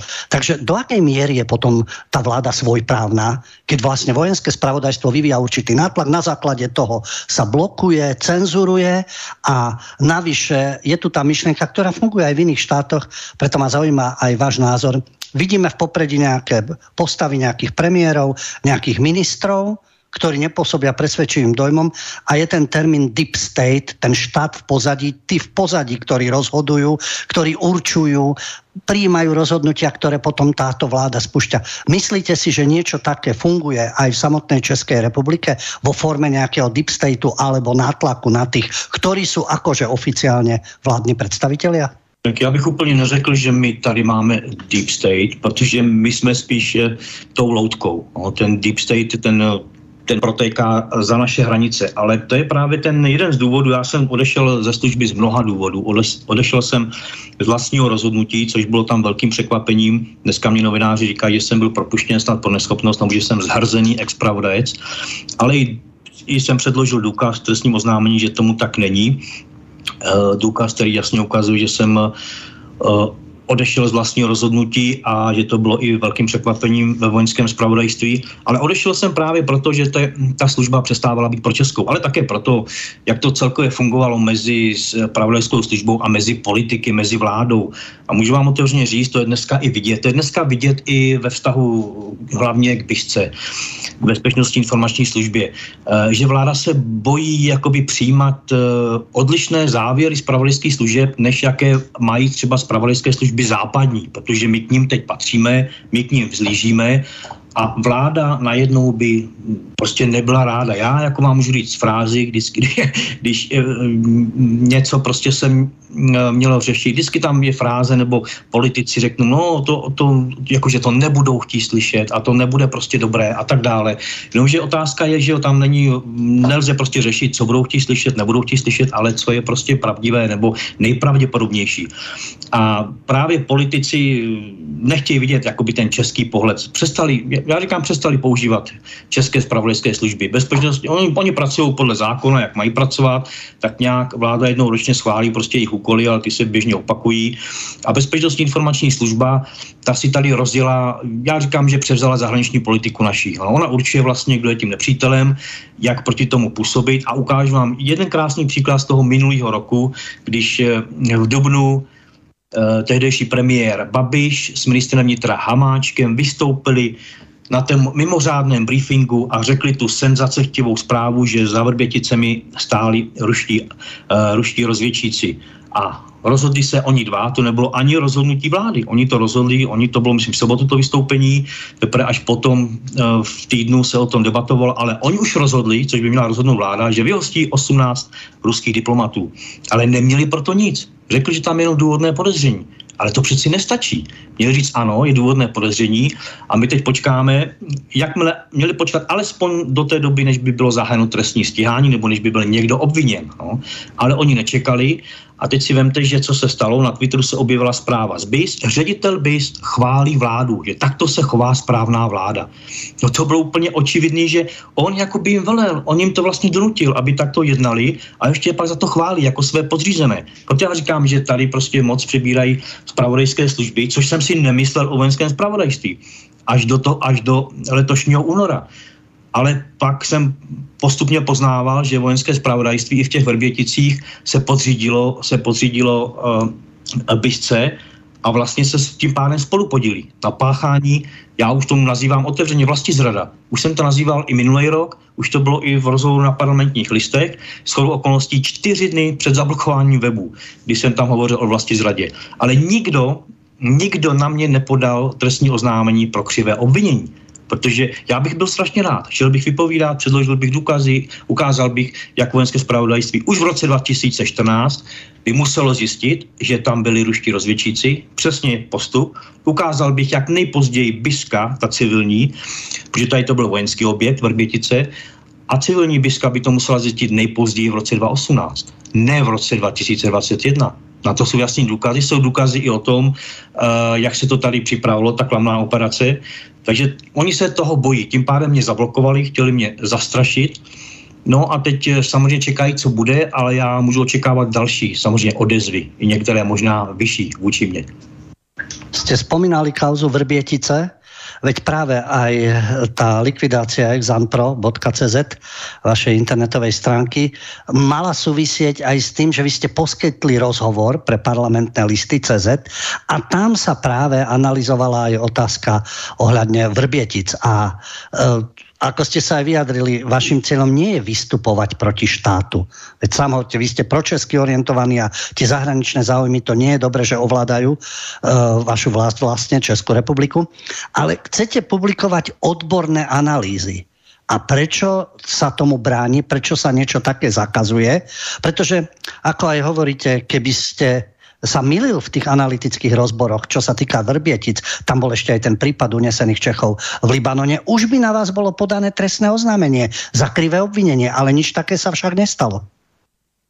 Ano, protože pokud by bylo podáno trestní oznámení, já bych eh, byl samozřejmě, bych byl dotazován, možná i vyslýchán, pokud by, a eh, všechno by se projednávalo, bylo by to veřejné, já bych poskytoval i samozřejmě pak velmi rád i výstupy tady z kontaktu s policií a se státním zastupitelstvím, ale to oni nechtějí a vůbec nechtějí, aby se některé tyto věci projednávali, projednávali u soudu, protože to je prostě medializované. Eh, novináři by o tom měli zájem. No.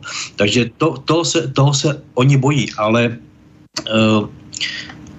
je tu právě eh, problém v tom, že třeba já bych strašně rád šel do nějaké i debaty, třeba v české televizi, ale nikdo mě nepozve. Já jsem teď prostě ten vyvrhel, anebo se v české televizi bojí, že bych jim to tam argumentačně převrátil zhru nohama, takže to prostě nelze. Mě nikam nepozvou. Vzal, vzali, uh, zvali si tam všechny ty, kteří, kteří mě prostě křivě obvinovali, kteří vůbec ani neviděli, co se píše na stránkách Exampro, ale protože že to řekla vláda a vojenské zpravodajství, tak jsem prostě ruský agent a vlastizráce. Ja som to spomínal na úvod práve tú tragédiu aj českej verejnoprávnosti a to sa vlastne týkalo covidu a neobjektívnych informácií a e, tí, ktorí majú iné názory, sú dezinformátori. A tam bol práve ten smiešný argument, že oni nemali čas zavolať protistranu. Tak možno nemajú čas, aby vás zavolali, ale skôr to vyzerá tak, že boja sa tých argumentov, čo je teda dokonalá úbohosť, pretože o tom by mala byť verejnoprávna inštitúcia, aby dala priestor a v podstate tam by sa aj ukázalo ich argumenty a vaše argumenty. Ale je tu, je tu ešte jedna záležitosť a to už ide teda o byte, nebyte. Vy sám ste naznačili, že vás nezastrašia, ale môžu pristúpiť aj k likvidácii, pretože ide o veľa a keď sa ukáže, o čom bude ďalšie trestné oznámenie, vrátanie dôkazov a otázok, z ktorých sa nevyvlečú a nedokážu na nich odpovedať, tak to bude veľký problém. Tak e, je to, pochopiteľne, tu ide o veľké kauzy, o vládu. Je to až také vážné, zrejme aj áno, že by mohlo dojsť aj k vašej likvidácii? No, já jsem tam mluvil, ano, to jsem zmínil a zmínil jsem tam e, i tuto variantu, no to je více variant, jak mohou vůči mě e, postupovat a uvedl jsem to tam jako možnou variantu vývoje. To znamená, pokud by zase někdo chtěl říct, že dezinformuju, to já už jsem tam psal v trestním oznámení. Předpověď. Předpověď nemůže být nikdy dezinformační. Předpověď odhaduje vývoj situace. Tak předpověď může být, buď se ukáže jako milná, nebo jako správná, nebo jako částečně správná. Ale nikdy nemůže být dezinformační. To, jak jsem, jsem uváděl, můžeme zrušit předpověď počasí. Protože předpověď počasí vždycky, když dospějeme do té reality, tak je vždycky často dezinformační, že jo? takže ho můžeme zrušit. Ale jen si, kolik ekonomů se, se mílí ve svých předpovědích. Že jo? kolik lékařů v některých věcech se mílí a taky nejsou prostě vypínáni, blokováni. Předpověď je předpověď. Eh, dezinformace nebo je, něco, je, je fakt, který už existuje, který je ověřený a který někdo zkreslí. Dezinformace je třeba to uh, lživé vyjádření soudce Štěpána jo, že veškeré weby mohly být, byly přístupné na, jiných, na jiných doménách. To je lež, no, nebo můžeme říct teda podle nového dezinformace. Když lež je tvrdší slovo a to mám radši. Pokud je to lež, je to prostě česky správně, uh, správně nazváno. A televize, já si myslím, že oni by ten čas měli, ale uh, oni tam uh, samozřejmě jsou taky někomu podřízení, tam je ta hierarchie, tam se jasně ví, jaká politika se tam jede, co si mohou dovolit, co si nemohou dovolit, někdo o tom, někdo o tom rozhoduje, takže to prostě není možné. A já jsem, uh, to trestní oznámení je veřejně přístupné, já jsem ho poslal hlavním dělovacím prostředkům i české televizi na několik e-mailových adres.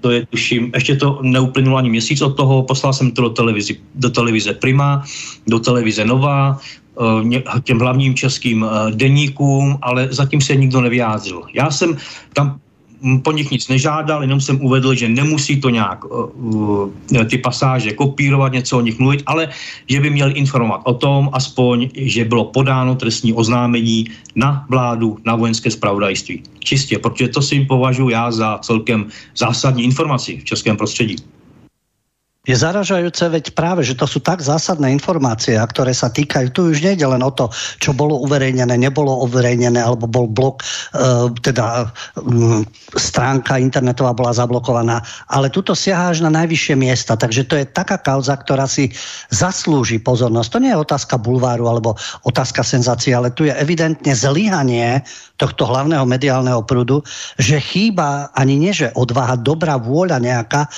pustiť sa do tej debaty a dať ten priestor, pretože naozaj, keď vy ste ten dezinformátor a agent a tak ďalej, no tak vás usvedčia v priamom vysielaní, prídu odborníci, ktorí vám oponujú a vás usvedčia, že je to tak. A keďže na to nemajú podľa mňa argumenty, tak práve preto je ten strach. A u redaktorov to už sa vôbec nečudujem. Ja by som, vzhľadom na to, aké charaktery pracujú v rámci žurnalistiky, ale vy máte tie bohaté skúsenosti z vojenského spravodajstva a tu už to bolo vlastne aj naznačené, že teraz, a to nie, si nemyslím, že len Česká uh, spravodajská služba, vojenské spravodajstvo, ale takisto u nás, my sme už súčasťou určitých štruktúr, NATO a tak ďalej a transatlantické väzby a podobne. Čo si budeme navrávať, to všetko ide v rámci Spojených štátov, v rámci Pentagonu, lebo NATO je len prívesok vlastne Pentagonu. V predchádzajúcom režime sa neustále kritizovalo, že či už to bolo vojenské spravodajstvo, tajné služby a tak ďalej, Sice fungovali, ale všetko to malo tú pyramídu a na vrchole bolo KGB, ktoré rozhodovalo čo, kde, kto v rámci tábora bude robiť. Ale teraz tá situácia, a to dnes to teda nenapíšu, ale tá situácia teraz vyzerá, že namiesto teda tých služieb z Moskvy, tu máme nejaké služby v rámci Washingtonu, ktoré rozhodujú, kto kde sa zaradí a kto ako bude konať. A navyše ešte zrejme je aj ten vplyv na vládu, s čím vystúpia a čo povedia. Máte dojem, že to takto funguje? No ten dojem mám stále větší. No, a, a jak už jsem mi popisoval, to se potvrdilo teď, když uh, ředitel Bezpečnostní informační služby Michal Koudelka si jel pro, oni tomu říkají tady v Čechách, vyznamenání. A jel si pro něho do Langley, do ústředí CIA, jenomže já si říkám... Eh, no jako tím je povedané všetko. Ano?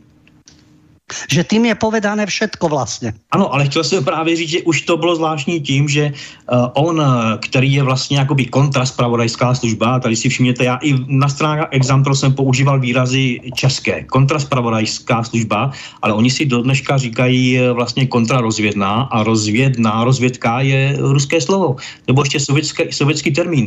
A oni tady ještě by, jenom když odbočím, chtěli vlastně ještě vstoupit do školních osnov, že jsou příliš ovlivněni jakýsi so, jakými si sovětskými dějinami. A já pak říkám, dobře, ale tak eh, Biska je zase taky ovlivněna sovětskou terminologií, když se nazývají pořád, že jsou jakoby kontra rozvědnou, nebo tady máme rozvědku. Sice je to běž, už uchycený slovo, ale já spíše používám kontra spravodajská služba.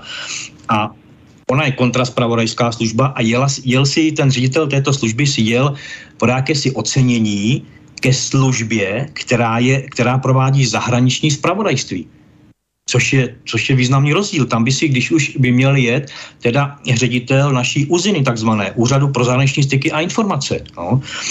Ale to je partner, to jsou partnerské služby. PISKA má svého partnera v FBI, tam funguje v rámci FBI takzvaná kontraspravodajská divize. Ano, ale najednou koudelka si tam jel, ale ono to nebylo vyznamenání, protože Uh, oni mají to, co mají skutečná vyznamenání v rámci CIA, to nedávají, to je, to je pro příslušníky CIA, to není pro ty uh, zahraniční osoby, ale těm dávají takové ty suvenýry. On dostal tu medaili George Teneta, která tam byla jako vytvořena, ale to je zase takový to ukázání, jak je pro ně jakoby v úzovkách cený koudelka, že to dělá dobře, že vlastně dobře hájí ty zájmy, tu jejich zahraniční politiku. No. A tím, a když si představíte, že on tam s ním byl v Langley i Babiš, já bych třeba ještě chápal, kdyby tam v té době s ním měl Trump, jo? kdyby Trump mu ukázal, a teď vám tady ukážu naši spravodajskou službu, naši mocnou CIA, jak to tady funguje. Chápu, že byl tam proved Babiše, třeba i toho koudelku, ale on tam jel sám, Babiš s koudelkou. Původně se, se říkalo, dobře, tak Babiš tam byl pozván, asi ho chtěl nějak blífnout, chtěl mu vysvětlit něco, jak to má dělat tady, jak má podporovat jejich politiku. Jenže pak jsem nabil dojmu, nebo pak to všechno to převážilo a já vlastně říkám, že tam nejel jako koudelka s Babišem, ale on Babiš tam jel s koudelkou. Babiš tam jel doprovodit koudelku. Koudelka byl hlavní osoba, který tam dostal ocenění a zřejmě tam chtěli mi u toho, toho Babiše jako premiéra, aby mu ukázal, vidíš, Koudelka, ten je pro nás cenej a my potřebujeme, aby zůstal ve funkci. No, no a co se stalo, že jo, potom, že jo, pak po určitý době? Minulý, pak se stalo to, že najednou eh, Babiš se nechá najednou zvrtnout, udělá rychle mimořádný briefing a vyloučí 18 ruských diplomatů. No, aniž by vlastně doteďka, už uplynul více než rok, ale doteďka stále jsou ve fázi prověřování.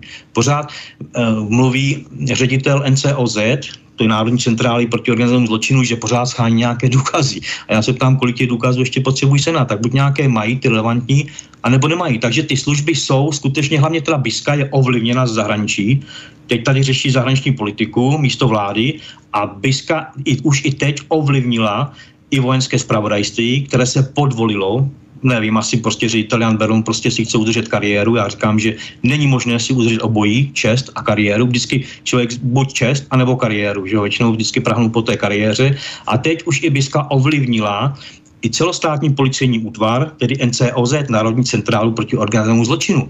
Protože už tam, já už jsem i tam poukazoval, už jsem mu tam i psal, publikoval, jak Jiří Mazánek, šéf této, této centrály, už taky několikrát hal ohledně Vrběticích. Sú to závažné informácie a samozrejme, že naznačujú, ale úplne otvorene naznačujú, komu slúži súčasná garnitúra. Opäť hovorím, to je jedno, či Slovenskej alebo Českej republike. Dáme si ešte jednu skladbu a potom pokračujeme v našej debate.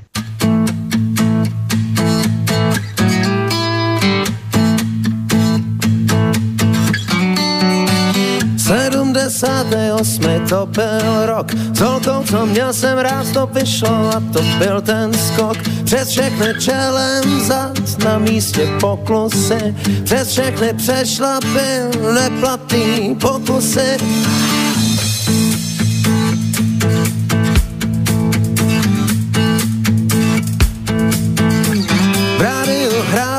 věci, co se nedaj poslouchat. Kámoš mi pustil stouny a měl z toho v hlavě zkrat. Přestal jsem zpívat Dianu a o tom, kdo byl Shane. Stáhnul z kaseťáku akordy na Lady Jane.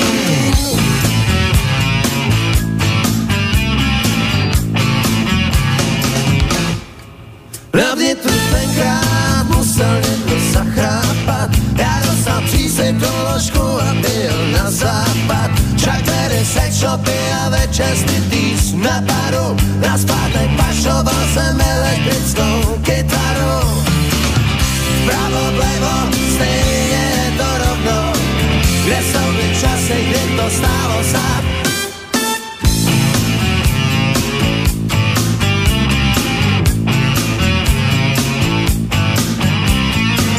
Na všechno dá se dívat ze dvou stran. Život je jeden velký cirkusový stan. Lachtani, hadí, ženy, klauni, hudba vyhrává. Někdo se směje, někdo brečí, někdo nadává.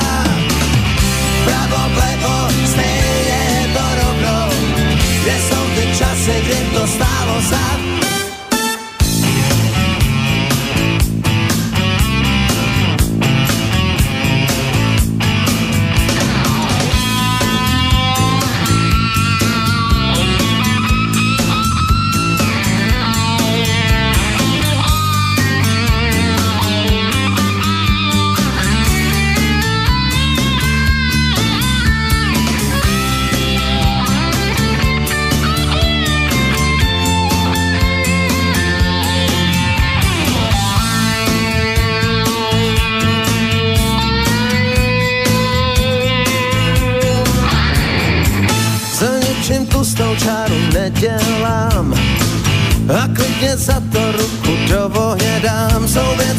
se nedají ukrást ani nakoupit. To, co jsem zažil, to mi nikdo nikdy nemůže vzít. Pravo, vlevo, stejně je to rovno. Kde jsou ty časy, kdy to stálo za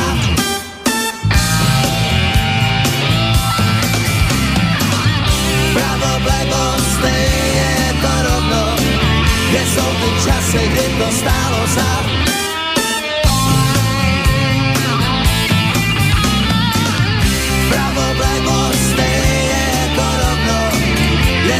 časy, kdy to stálo za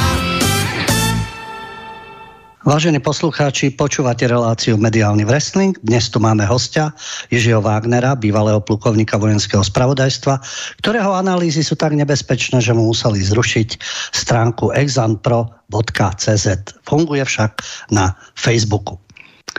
Máme tu ešte teda čas predtým, ako bude, budú e, debaty s našimi poslucháčmi. Môžete od pol desiatej telefonovať na telefónne číslo 048 381 0101 a písať svoje maily na adresu studio zavináč slobodnyvysielac.sk Pán Wagner, e, na záver by som v rámci vašich analýz sa rád opýtal na, vy ste to už dnes vlastne aj povedali, ten dôležitý rok, ktorý nás čaká. V jednej z tých analýz e, spomínate prezidentské voľby, ktoré budú na Ukrajine, v Rusku, v USA v jednom roku, 2024. A údajne teda podľa, tejto, podľa vášho vyjadrenia vlastne aj Rusko si tak naplánovalo hlavné vojenské operácie a to upevňovanie získaného územia na ten celý rok 2022. V roku 2023 síce konflikt na Ukrajine neskončí, ale pre ruského prezidenta Vladimíra Putina to bude rok volebnej kampane a tam chce prezentovať vlastne svoje úspechy v tom, že znižuje západné hrozby. Ak bude teda Putin na jar 2024 znovu zvolený do úradu prezidenta, v ňom zotrvá až do roku 2030 a píšete, že práve ten rok bude rozhodujúci rok medzi Západom a Východom. Rok 2030 ako rozhodujúci rok. Ako to možno chápať, alebo ako to myslíte? Ten rok 2030 je právě hodnocen tak, že to je nejzaší vůbec termín, kdy američané do tohoto roku budou schopni ještě nějakým způsobem eh, nechci říkat vyloženě konkurovat, ale potlačit ten uh, ruský režim, protože dneska se říká, že naši zase tady čeští novináři a politici, že Amerika to, to je demokracie, oni vyvážejí jenom tu demokracii, nechtějí nic, ale opak je pravdou. Jejich hlavním cílem, strategickým cílem je změnit politický režim v Rusku. To jsem už několikrát také rozebíral, protože téměř, když se, když se hovoří, já to nejsem ekonom, ale mohu říct, že téměř, to, uh, když se hovoří 50% nerostného bohatství je na území Ruska, No tak a to se dneska ukazuje, že jo, protože všichni říkali, ale nějaké nerostné bohatství a co by jim bylo potom, teď eh, tamhle mají v arabských státech, američani mají svoje. No ale teď vidíme, že jo, jak tady začínáme chátrat Evropa, jak dokonce začínají i vystupovat naši zbrojáři, že když jsou ty sankce, že potřebují určité, určitý materiál, který se těží v Rusku, taky na výrobu zbraní, střelného prachu a podobně. Takže to je, to je ta souvislost a američané eh, jako věděli, že prostě budou strádat, co se týče nerostných surovin a navíc rusové šli dál hodně i i eh, ve vojenství šli dál, i hodně snaží se teda eh, získávat nebo tvořit vlastní technologie a další věci tam, ale tam právě už se hodnotí tak, že ten rok 2030 je tak přelomový, že už prostě na to Rusko nedosáhnou. Amerika. Amerika také i proto, že má vlastní problémy, má velké vlastní problémy, také proto, že už jim nemůžou, ne, těžko pomohou i evropské státy, které jsou tady skoro v rozkladu. Tady se prostě začíná ukazovat to, že eh, nech, ano, chci teď vůbec říkat tady, tu, tady to, co považuji za, za dezinformaci, že snad Putin nás tady rozkládá, no my se rozkládáme sami, no, protože tady se snaží prostě někdo prosazovat jenom svoji moc a, a jsou tady je, je různé dohady. Ale zkrátka, zkrátka to přispívá k tomu, že američané si vyhodnotili, což je už pro to hodnocení, že ten uh, rok 2030 je přelomový. A proto tam byla i ta snaha. Já jsem to už třeba už i prezentoval eh, na uh, co se týče té operaci proti Skripalovi. Ano, že tam zase nebylo nic, předloženy žádné důkazy, ale když si vemete, tak tam, teď si přesně nespomínám, tam snad Eh, pár dnů na to byly v Rusku volby, kde znovu Putin kandidoval, prezidentské volby. A Rusové by nikdy neprovedli operaci těsně krátce před volbami. No. A, on, a právě Britové i hned na to přistoupili k vyhoštění, já nevím, tenkrát snad několik desítek diplomatů ruských eh, z Velké Británie. A udělali to tak, aby to přesáhlo i ty volby prezidentské, aby snížili to, to Rusko. To znamená, oni se teď znovu chtějí zaměřit i na ty prezidentské volby, prostě znevážit ten režim. Někdo říká, proč ale ne proti Číně, proč jako je ten strategický cíl Rusko. A já zase říkám ano, protože eh, z těch hodnocení, které tady mám k dispozici, nebo co tady různě debatujeme, tak Čína je tak takový stát, že tam je těžko, těžké ten politický režim změnit. Tam je taková kultura, takový i to duchovní, filozofické povědomí a prakticky tam neexistuje politická opozice. Tam se uh, rychle zbavují tady té politické opozice, když to na, na Rusku, v Rusku opozická, op, uh, politická opozice existuje. A když se Američanům podaří změnit politický režim v Rusku, tak budou, který bude přívětivý k té americké politice, budou moct ten režim kontrolovat, tak samozřejmě přes Rusko budou moci lépe působit proti Číně. To pak bude mm, je snadnější. A Ukrajina právě je takovou branou, branou do Ruska pro Američany, to všichni vědí. Všichni to vědí, ale nikdo to nechce říct. Prostě jak se říká, Američani, jak říkají, získáme Ukrajinu, bude to pro nás vstupní brána do Ruska a můžeme pak působit i proti politickému režimu.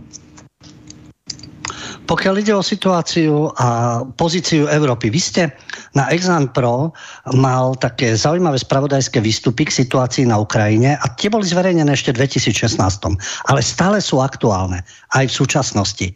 A v rámci týchto, v rámci týchto analýz uh, je vlastne uh, podstatné to, že tie zmeny, ktoré sú na Ukrajine, boli podporované zo zahraničia, to je evidentné, ale poškodili celú Európu. A vy si tam tiež kladete tú otázku, že to je čudné, že európskym politikom, no keď si uvedomíme, komu slúžia, že neprekáža, že vlastne v Európe my si vytvárame nejaké nové boisko. Takže Európa ako keby, no Európa, európsky politici, dajme tomu tie štruktúry bruselské, ktoré sú ako keby nemyslela na seba, na svoju budúcnosť. Ako keby slúžila ako lokaj, vyslovene povedané americkým záujmom a vrhá sa do nejakého boja, o ktorom tvrdí, že je spravodlivý, že ten boj je o Ukrajinu a evropské hodnoty. Je to podle vás skutečně spravodlivý boj? No tak co je dneska spravedlivého, že to uvidíme na blokování webu a všeho ostatního. Dneska spravedlnost to je to je složitá věc a málo kdo za ní chce bojovat nebo, nebo položit kariéru. To je, to je ten problém. Ale tady je právě to, že nepochopitelným způsobem se Evropská unie, která, říkám, ta je řízena Severoatlantickou aliancí, protože teď, si, si dobře počítám, 21 zemí je zároveň Severoatlantické alianci a zároveň v Evropské unii. A já už vím, že američané často i na samitech NATO debatují i úlohu Evropské unie. A jak vidíme, tak Evropská unie vlastně slouží těm američanům ty jsou vedoucí úlohou jak v NATO, tak se stávají vedoucí úlohou vlastně i e, Evropské unie, protože když američani řeknou, že přijmou sankce, no tak a řeknou to vlastně i za Evropskou unie, že Evropská unie taky přijme, tak potom vystoupí někdo z Evropské unie, třeba z Evropské komise a řekne, ano, my ty sankce taky přijmeme, že se přidáme k Američanům. A tady je nepochopitelná ta věc, že nevím, ty politici, jestli jsou prostě zaslepení, chtějí prostě mají ty, mají ty svoje funkce, myslí si, že to je prostě to jediné správné, že to Rusko je prostě to říše zla, eh, že prostě nemůžeme žít tady prostě v míru, ale že prostě musíme pomoct té Americe nebo prostě uh, říct prostě Rusku, že jak už to říkal tenkrát někteří politici američtí, že Rusko se musí s těmi o ty nerostné suroviny podělit a podobně.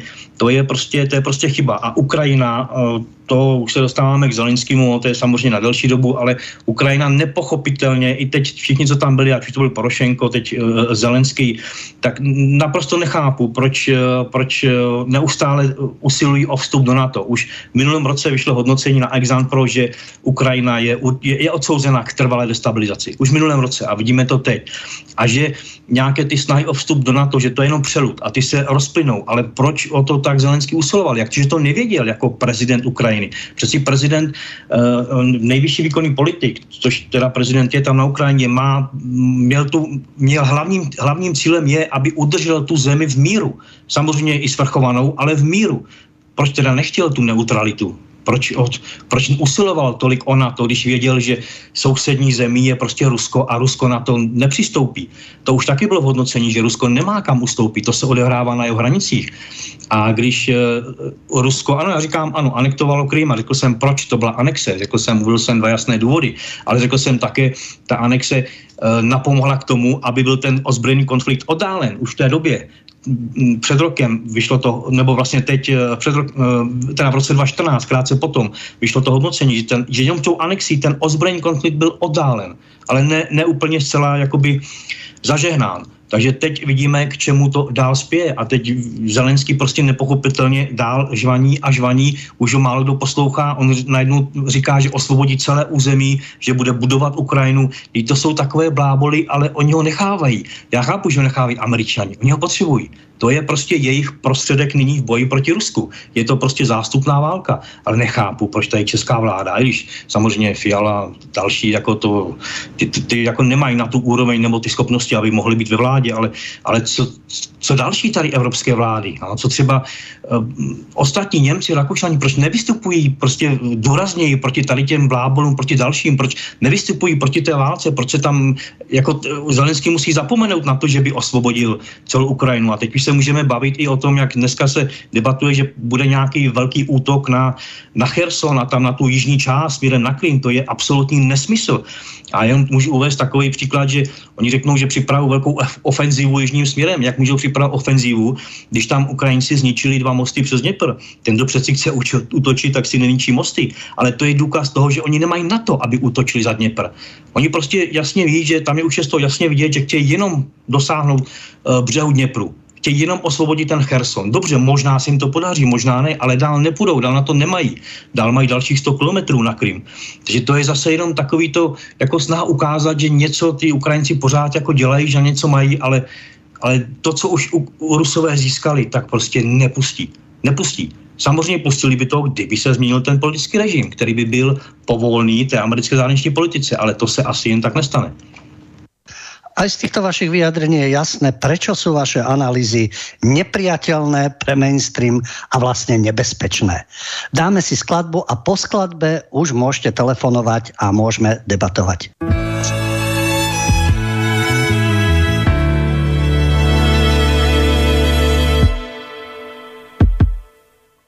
V očiach máš tú iskru, ktorá vraví ti, poď nájdi šťastie, veď to nie je ťažké.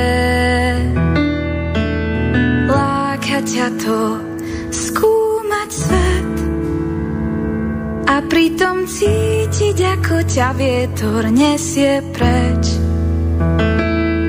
Si zlomený a ty stratená.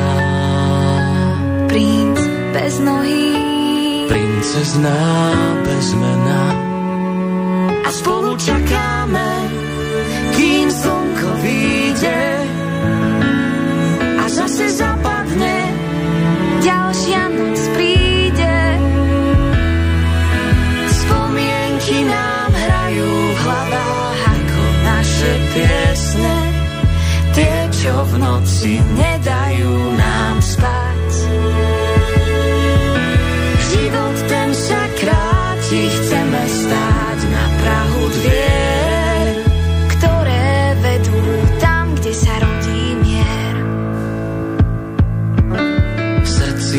cítiš, že dobrodružstvo čaká ťa, no strach sa ozýva a v hlave metie ťa. Stále váhaš, či urobiť krok máš. Poviem ti vpred, je lepšie ako vzad.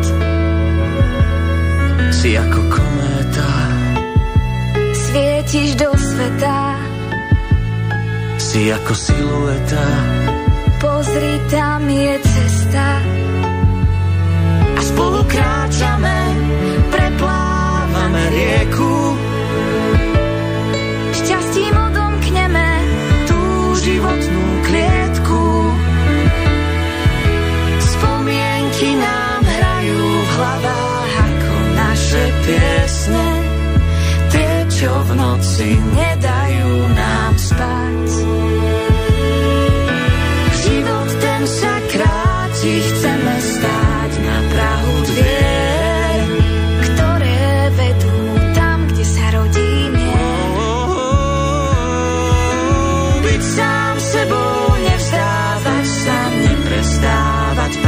pátrať, po cestách kráčať, stále mať svoj cieľ. Život ten sa kráti, chceme stáť na Prahu dvier, ktoré vedú tam, kde sa rodí mier.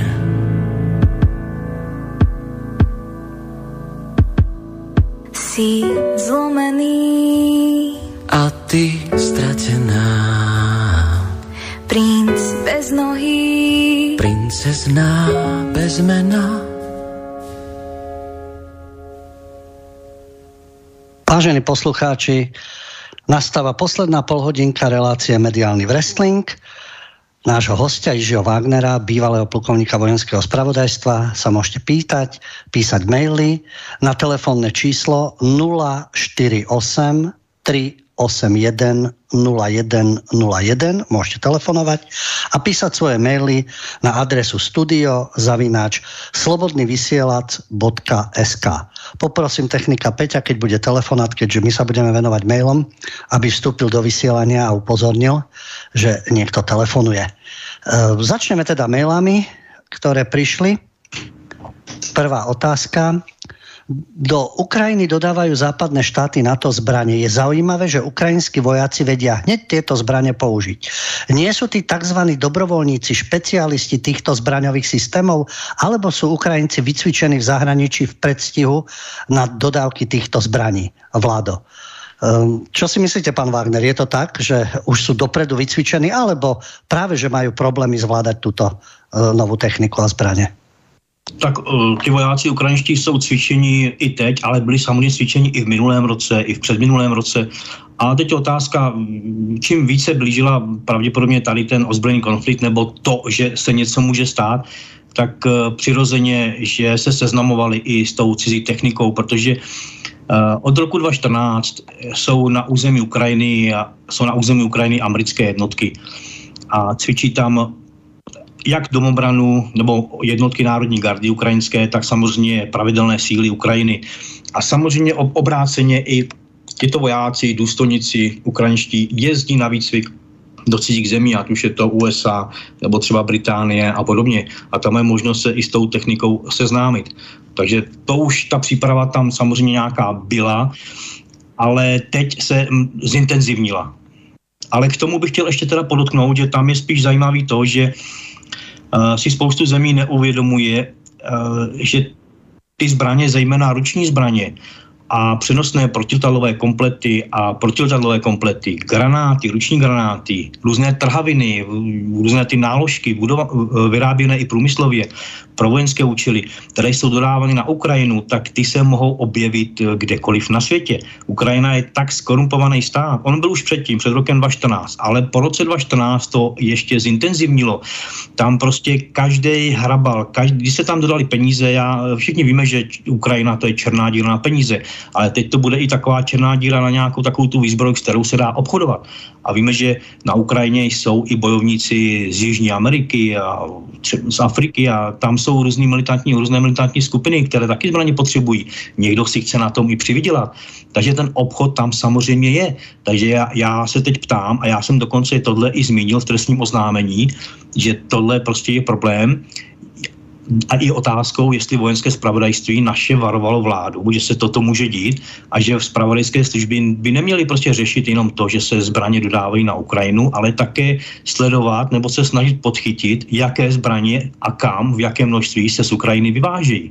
To bude, to jsem, co vlastně nastane, až někde zase bude spáchán teroristický útok a najednou se zjistí, že to bylo nějakou eh, zbraní, ruční zbraní, podle evidenčního čísla, pokud tam ještě bude Eh, bude mít, eh, že vlastně pochází třeba z České republiky, nebo že to byla prostě výbušnina, nebo nějaké ty zbylé fragmenty a dá se to vystupovat, nebo že to pocházelo z nějaký západní země. To bude pak problém.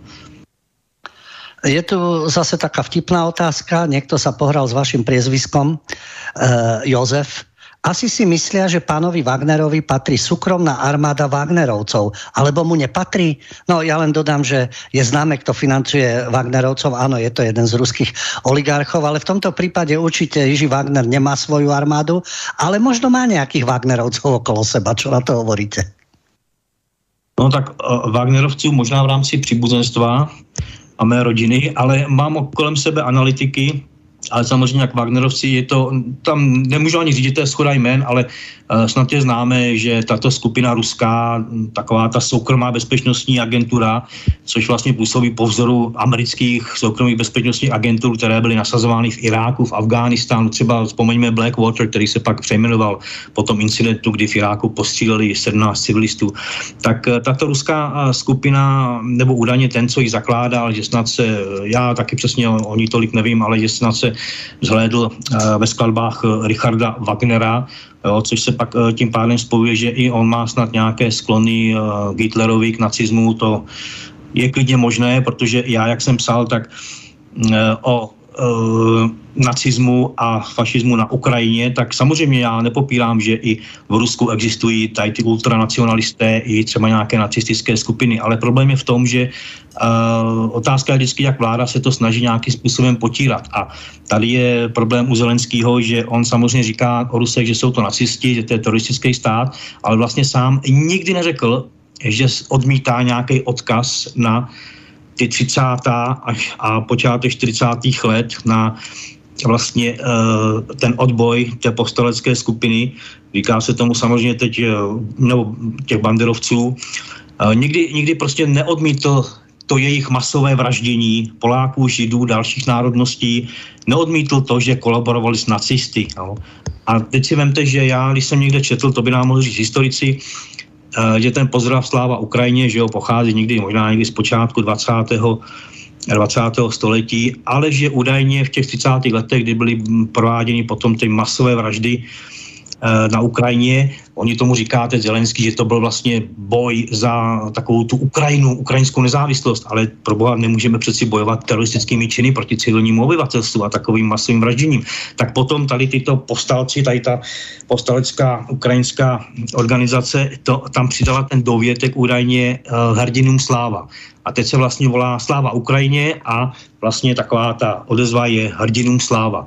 A mě to trošku, mě to začíná trošku už jako vadit, protože tam vidím trošku ten spojení s tím nacismem, protože když se zakazují mm, nebo symboly nacistické nebo různé provolání, tak i to sláva Ukrajině je pro mě problematické a mělo by to být i pro politiky. Jenomže náš uh, panák, který akorát dbá o vnější vzhled, Petr Fiala, premiér, ten když přijede do Ukrajiny a vyřává tam sláva Ukrajině, tak uh, asi neví ani, já nevím, já dokonce už mám pocit, že snad i tohle by mohlo být bráno jako trestní čin uh, hanobení rasy, národa a podobně, protože si je sláva Ukrajina, hrdinům sláva, ten dovětek, to vzniklo v průběhu toho, uh, nebo se to používalo v průběhu toho masového vraždění těch Ukrajinců a během té kolaborace s nacisty, tak by měli od toho úplně se odklonit a když už tak mít úplně jinou nějaký, jiný nějaký pořekadlo, jiný nějaké zvolání ale tady právě je strašně problém v tom, že ty lidi to nevidí, politici to nevidí,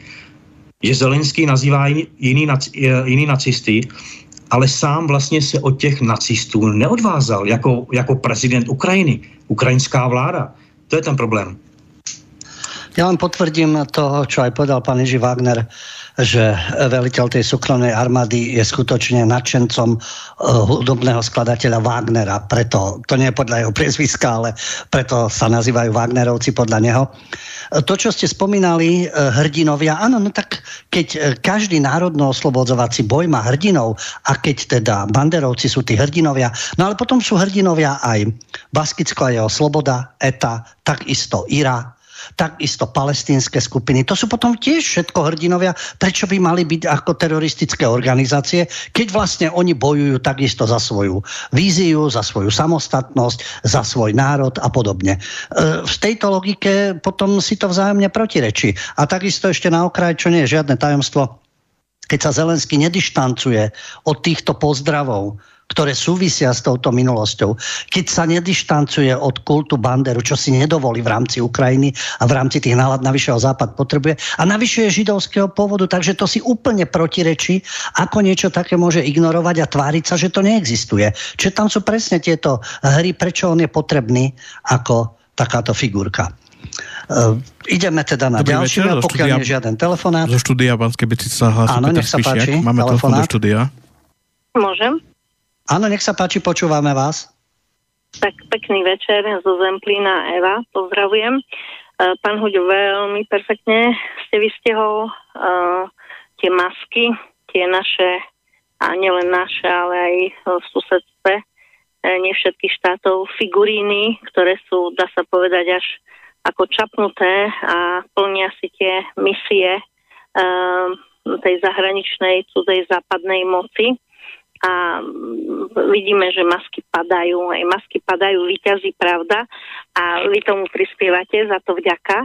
No na vášho hostia, keď dovolíte dve otázky, eh, či videl tú mapu novú, ktorú o novom rozdelení pre rozdelení Ukrajiny, kde tu na východnej hranici, tu je 98 kilometrov, Slovenska s Ukrajinou by už malo byť Maďarsko, Polsko až po Kiev, Ukrajina iba úplne maličká okolo Ukrajiny a Rusko až po more. Čiže chcem vedieť, či ten váš host tú mapu, myslím, že od pana Medvedeva, či to videl a, a aký má na to názor. A druhá vec, že ako, ako to vnímal v toho 24. februára, keď v podstate sa tu, ja som tu od okresu hneď vedľa je hranica 23 km Michalovce Sobrance.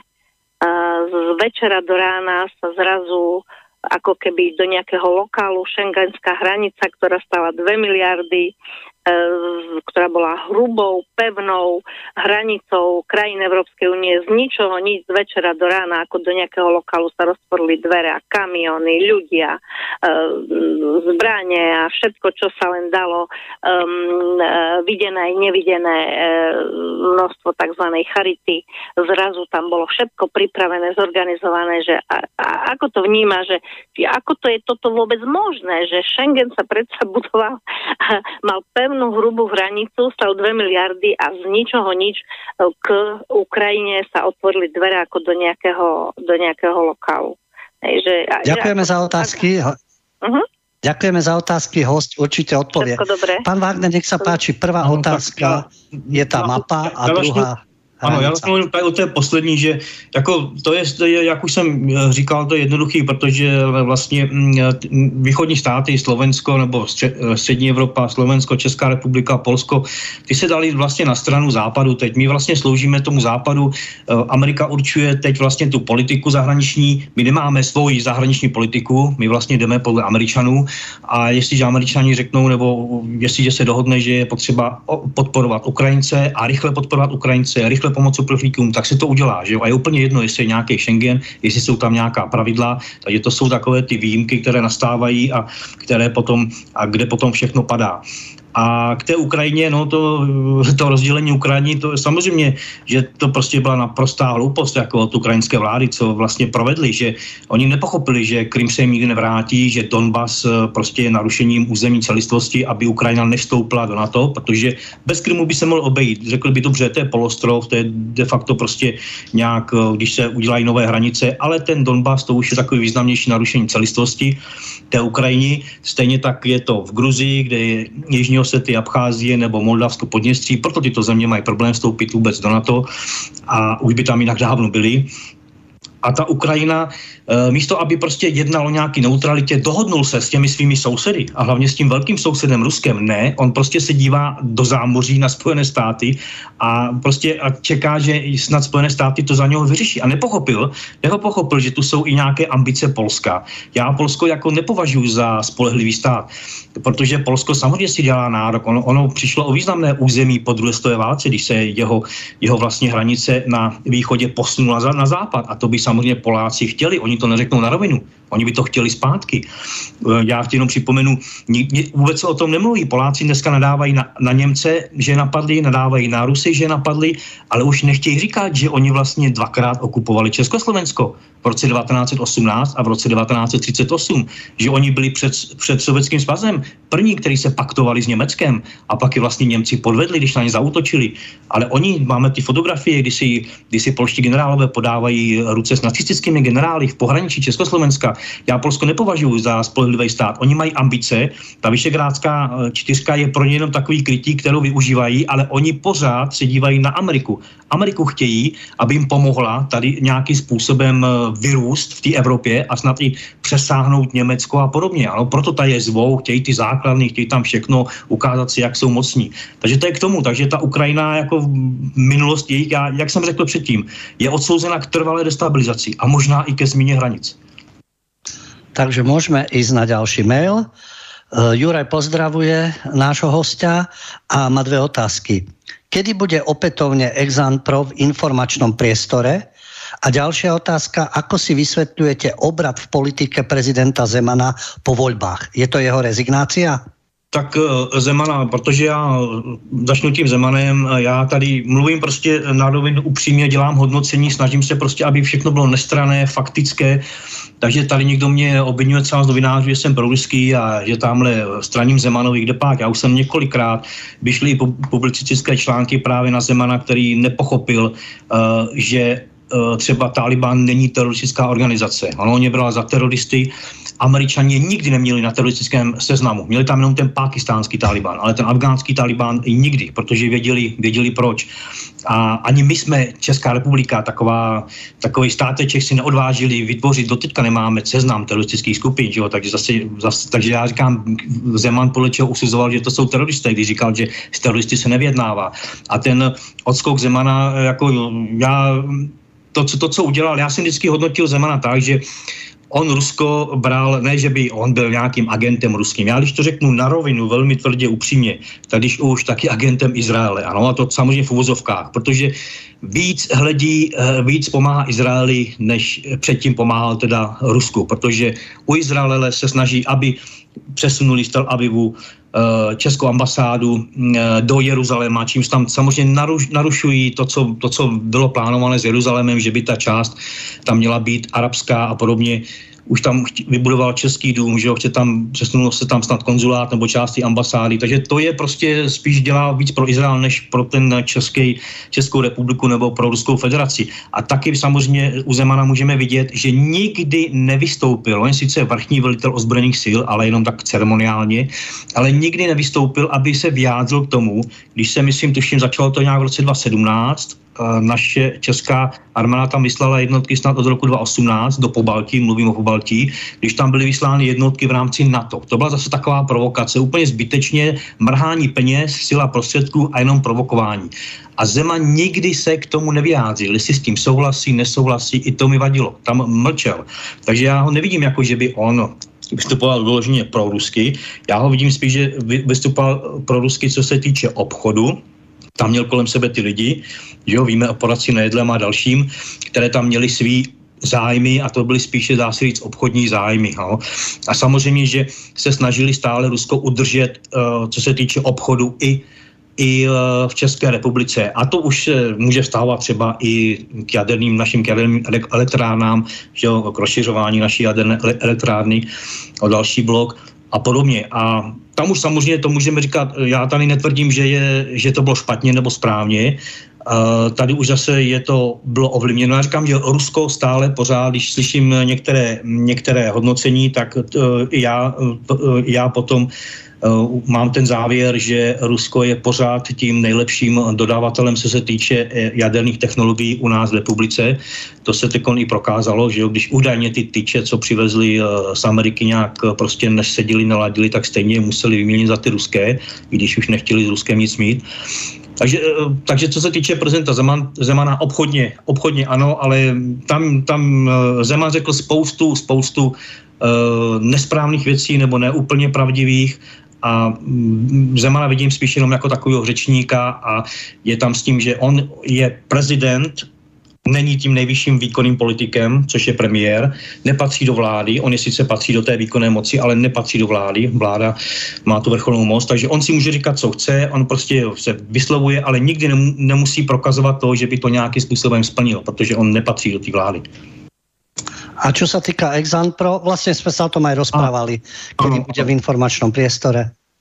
Je to možné, že bude, ale zatím, zatím stále je to v hodnocení, jakým způsobem by to bylo, tak kdy keď nikto netelefonuje, tak máme tu mail. Je to skôr také konštatovanie, ale neignorujeme žiadne maily, takže prečítam ho. Formálne nie je rozdiel medzi informáciou a dezinformáciou. Každá má svoj obsah, či pravdivý alebo nepravdivý.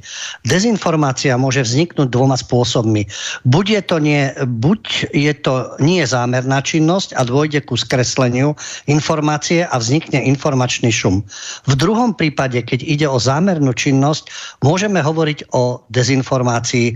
Aj tu rozlišujeme medzi bielou, sivou alebo čiernou propagandou, ktorá je založená na klamstve. Keď hovoríte, že novinári nie sú propagandisti, to myslíte vážne. Novinár okrem suchej informácie poskytuje buď svoj politický názor, alebo názor svojej strany, skupiny alebo zamestnávateľa. Takto sa zamieňa spravodajstvo s komentovaním. To už je propaganda. Toľko Juraj. No, možno len súhlasiť. Ja súhlasím s tým, že uh, aj ten novinár je človek, pokiaľ to nie je zámerné. Že zámerne nahráva určitej strane konfliktu, zámerne niečo propaguje, ale môže takisto je to človek, môže mať svoje slabosti, neoverí si poriadne informáciu, spolahne sa na toho svojho respondenta, určitú verziu šíri, ale keď sa dozvie, že urobil chybu, tak by si ju mal priznať, tak ako je to bežné, že sa človek ospravedlní, naletel som, prepačte. Keď sa mu to stáva často, tak už sa tomu nemá venovať. Ale keď sa mu to stane niekedy, ja si myslím, že dôležité je priznať si tú chybu, objasniť a vysvetliť, prečo k tomu došlo. Ano, přesně tak. Já tady v tom jenom uvedu, že jsem podal také druhé trestní oznámení a to je proválečný zločin v Mariupolu, který provedly ukrajinské síly a o kterém eh, nepravdivě nebo lživě informovala česká média, naprosto selhala. A to bylo CNN Prima News, naše česká Prima News a česká televize to byla, bylo to další, eh, bylo to, bylo to i na novinkách.cz. Je to tam přesně doloženo, je k tomu videomateriál, je, jsou k tomu i snímky z tady toho videa a je tam jasně vidět, o co se jedná. A tento zinscenovaný incident, on se těžko vysvětluje tady bez obrazového materiálu, tak eh, byl vlastně zinscenován ve spolupráci eh, s americkou tiskovou agenturou. To tam je všechno popsáno. Tady to jsem chtěl jenom, jenom ukázat, co se týče těch uh, dezinformací, že novináři si nejsou schopni, a tenhle ten incident měli už oni odhadnout při prvním zhlédnutí. Tam bylo několik nedostatků, bylo to velice hloupě uh, sestříhané. A novináři jak všude nabádají, aby si lidé ověřovali informaci, tak jsou oni prvními, kteří si je vlastně vůbec neověřují. A vlastně jenom proto, že jim to dodali američané, tak tomu věří. A to je právě ta chyba. Informace by se měly ověřit všechny nebo k ním přistupovat prostě tak, eh, že pokud nejsou ověřený, nemůžou to považovat eh, za fakt. Já tady jenom ještě zmíním novináře Blaška, proti kterému jsem podal taky trestní oznámení. Eh, to je novinář, který pracuje pro seznam zprávy. Ten mě trestně pomluvil ale ten tam řekl i spoustu nesmyslů, řekl třeba, že já jsem spochybňoval policejní závěry k Vrběticím. A to už je samozřejmě od něho taková, můžeme říct, dezinformace, protože žádné policejní závěry z vyšetřování neexistují, protože nebylo žádné vyšetřování, jak jsem říkal, bylo stále, je to stále ve fázi prošetřování, prověřování, takže vyšetřování ani nezačalo a nebyly ani žádné závěry z toho ještě nemohly být. Tu je to evidentné. Je niečo iné pomýliť sa a niečo iné vedome klamať. V tom je obrovský rozdiel a v tomto mnoho žurnalistov zlyháva, keď vedome klame. Je tu ešte jeden mail. Ten sa netýka dnešnej našej debaty, ale ja na neho odpoviem. Dobrý večer. E, mal by som jednu otázku, ktorá je mimo témy. Zaujíma ma jedna vec, ktorú ste spomínali v alternatíve, teda ja v jednom svojom vysielaní, že sa, že sa narúšajú vzájomné vzťahy medzi Slovakmi a Maďarmi žijúcimi v Dunajskej strede a že to zneužívajú aj politici. Vedeli by ste konkrétnejšie rozvieť? Súvisí to s futbalom? Ďakujem pekne. Áno, Môžem povedať, že viete, tá atmosféra je, na, na tom futbale sa ventilujú rôzne veci. Aj teraz to vidno. Srbi, čo ja viem, Turci, ktorí dali najavo, že sú s Ruskom, zase inde, zase sa vyjadruje, vyjadruje spolu, e, teda spolupatričnosť s Ukrajinou, otázka Kosova, to sa všetko ventiluje aj cez futbal. To sa, e, jednoducho je to tak. Ale v tomto prípade budem stručný, áno, Žiaľ Bohu, občania maďarskej národnosti v Dunajskej strede, futbaloví fanošikovia Hooligans Hooligans, majú tú tendenciu mapy Uhorska, maďarské zástavy, maďarská hymna a tak ďalej. A dnešní politici nie ale keď si spomeniete na mená ako Palčák a Mikloš Duraj, Palčáky dokonca na štadióne hecoval týchto ľudí a podnecoval tieto nálady. To som myslel, že niektorí politici, iní to robia taktickejšie, títo dvaja boli otvorene plní nenávisti k Slovensku, k slovenskej samostatnosti. Dokonca Palčáky bol svojho času aj v Europarlamente a títo ľudia sa nehambili zneužívať aj futbalových, tých, tú najspodnejšiu vrstvu futbalových chuligánov. To sa netýka e, spolužitia Slovákov a Maďarov, ale týmto tendenciám, ktoré sa niekedy hodia aj politikom. Aha, ešte jedna otázočka tu je od Mareka z Prešova. Je to na vás, pán Wagner. E, rád by som sa opýtal pána Wagnera, ako vidí aktuálnu eskaláciu v Kosove. Myslíte si, že je možné, aby tento konflikt znovu vyeskaloval do stretu medzi Srbmi a kosovskými Albáncami? Nech sa páči, pán Wagner. Tak já jenom řeknu, že politika je ve všech oblastech, ta je skutečně všude a když se hovoří o spiknutích a konspiracích, tak nesmíme zapomínat na jedno staré a už několikrát prověřené, že to největší spiknutí je vždycky ta politika jednotlivých vlád, anebo nebo těch spojených vlád, třeba v Evropské unii. Prostě politika je jedno velké spiknutí a ono se nám to několikrát prokazuje. A co se týče Kosova, já jsem teda zaznamenal to, co se tam děje, ale jako co k tomu říct, protože Kosovo samozřejmě to je, eh, to je zase takový ten doutnák, je to umělý stát, je to prostě země, která musí být podporována, musí být nějakým způsobem udržována a podobně ten, ten Balkán, když se podíváme třeba na mm, e, Bosnu Hercegovinu, tam taky ty problémy jsou. To neskončilo a může to zase vyvolat uh, nějaký nesvár a, a, a podobně. A Kosovo, no a jako jestli chcete slyšet, samozřejmě Rusové teď, eh, proč by ne, já můžu říct taky otevřeně, že eh, aby ukázal, že jsem nestraný, že Rusové samozřejmě měli v zájmu, aby destabilizovali Ukrajinu, nebo respektive ukrajinskou vládu, protože to hrálo pro ně. Nechtěli, aby se tam uchytila nějaká eh, solidní moc, podporovaná Američany a tak dále, ale prostě to, co bylo proti ním tam organizováno nebo připravováno, tak potřebovali, aby to bylo nestabilní, aby to bylo destabilizováno, tím lépe pro ně. Ano? A teď eh, se může ukázat, eh, jak jsme na tom jako, jako Evropa. To co, se, to, co se bude dít v Kosovu, třeba v Bosně a Hercegovině, nebo uvidíme, co ještě v jiných evropských zemích. Čas nám uplynul, takže nezostáva mi nič iné, len sa rozlúčiť. Pán Wagner, ďakujem veľmi pekne, že ste prijali pozvanie a som rád, že ste sa mohli vyjadriť a informovať našich poslucháčov o tom, aká je situácia aj v Českej republike, pokiaľ chcete otvorene a faktograficky informovať o tom, čo sa deje. Ja vám želám, aby ste aj v rámci týchto trestných oznámení sa dočkali spravodlivosti. Možno, že je to naivné, možno je to idealistické, ale myslím si, že tá nádej musí byť vždy, že tie trestné oznámenia poslúžia spravodlivosti a pokiaľ ide o tie hrozby likvidácie, tak ja dúfam, že sa ešte budeme rozprávať aj v tom roku 2030, či to bude ten zlomový rok. Ano, já jenom eh, zdůrazním, že ten pojem likvidace byl hlavně stažen k těm dalším trestním oznámením, kde právě to jedno bude na Vrbětice. Tam bude jasně důkazně popsáno to selhání spravodajských služeb, ale i ta vlasti zrada, vlasti zrádná činnost ze strany uh, BISky.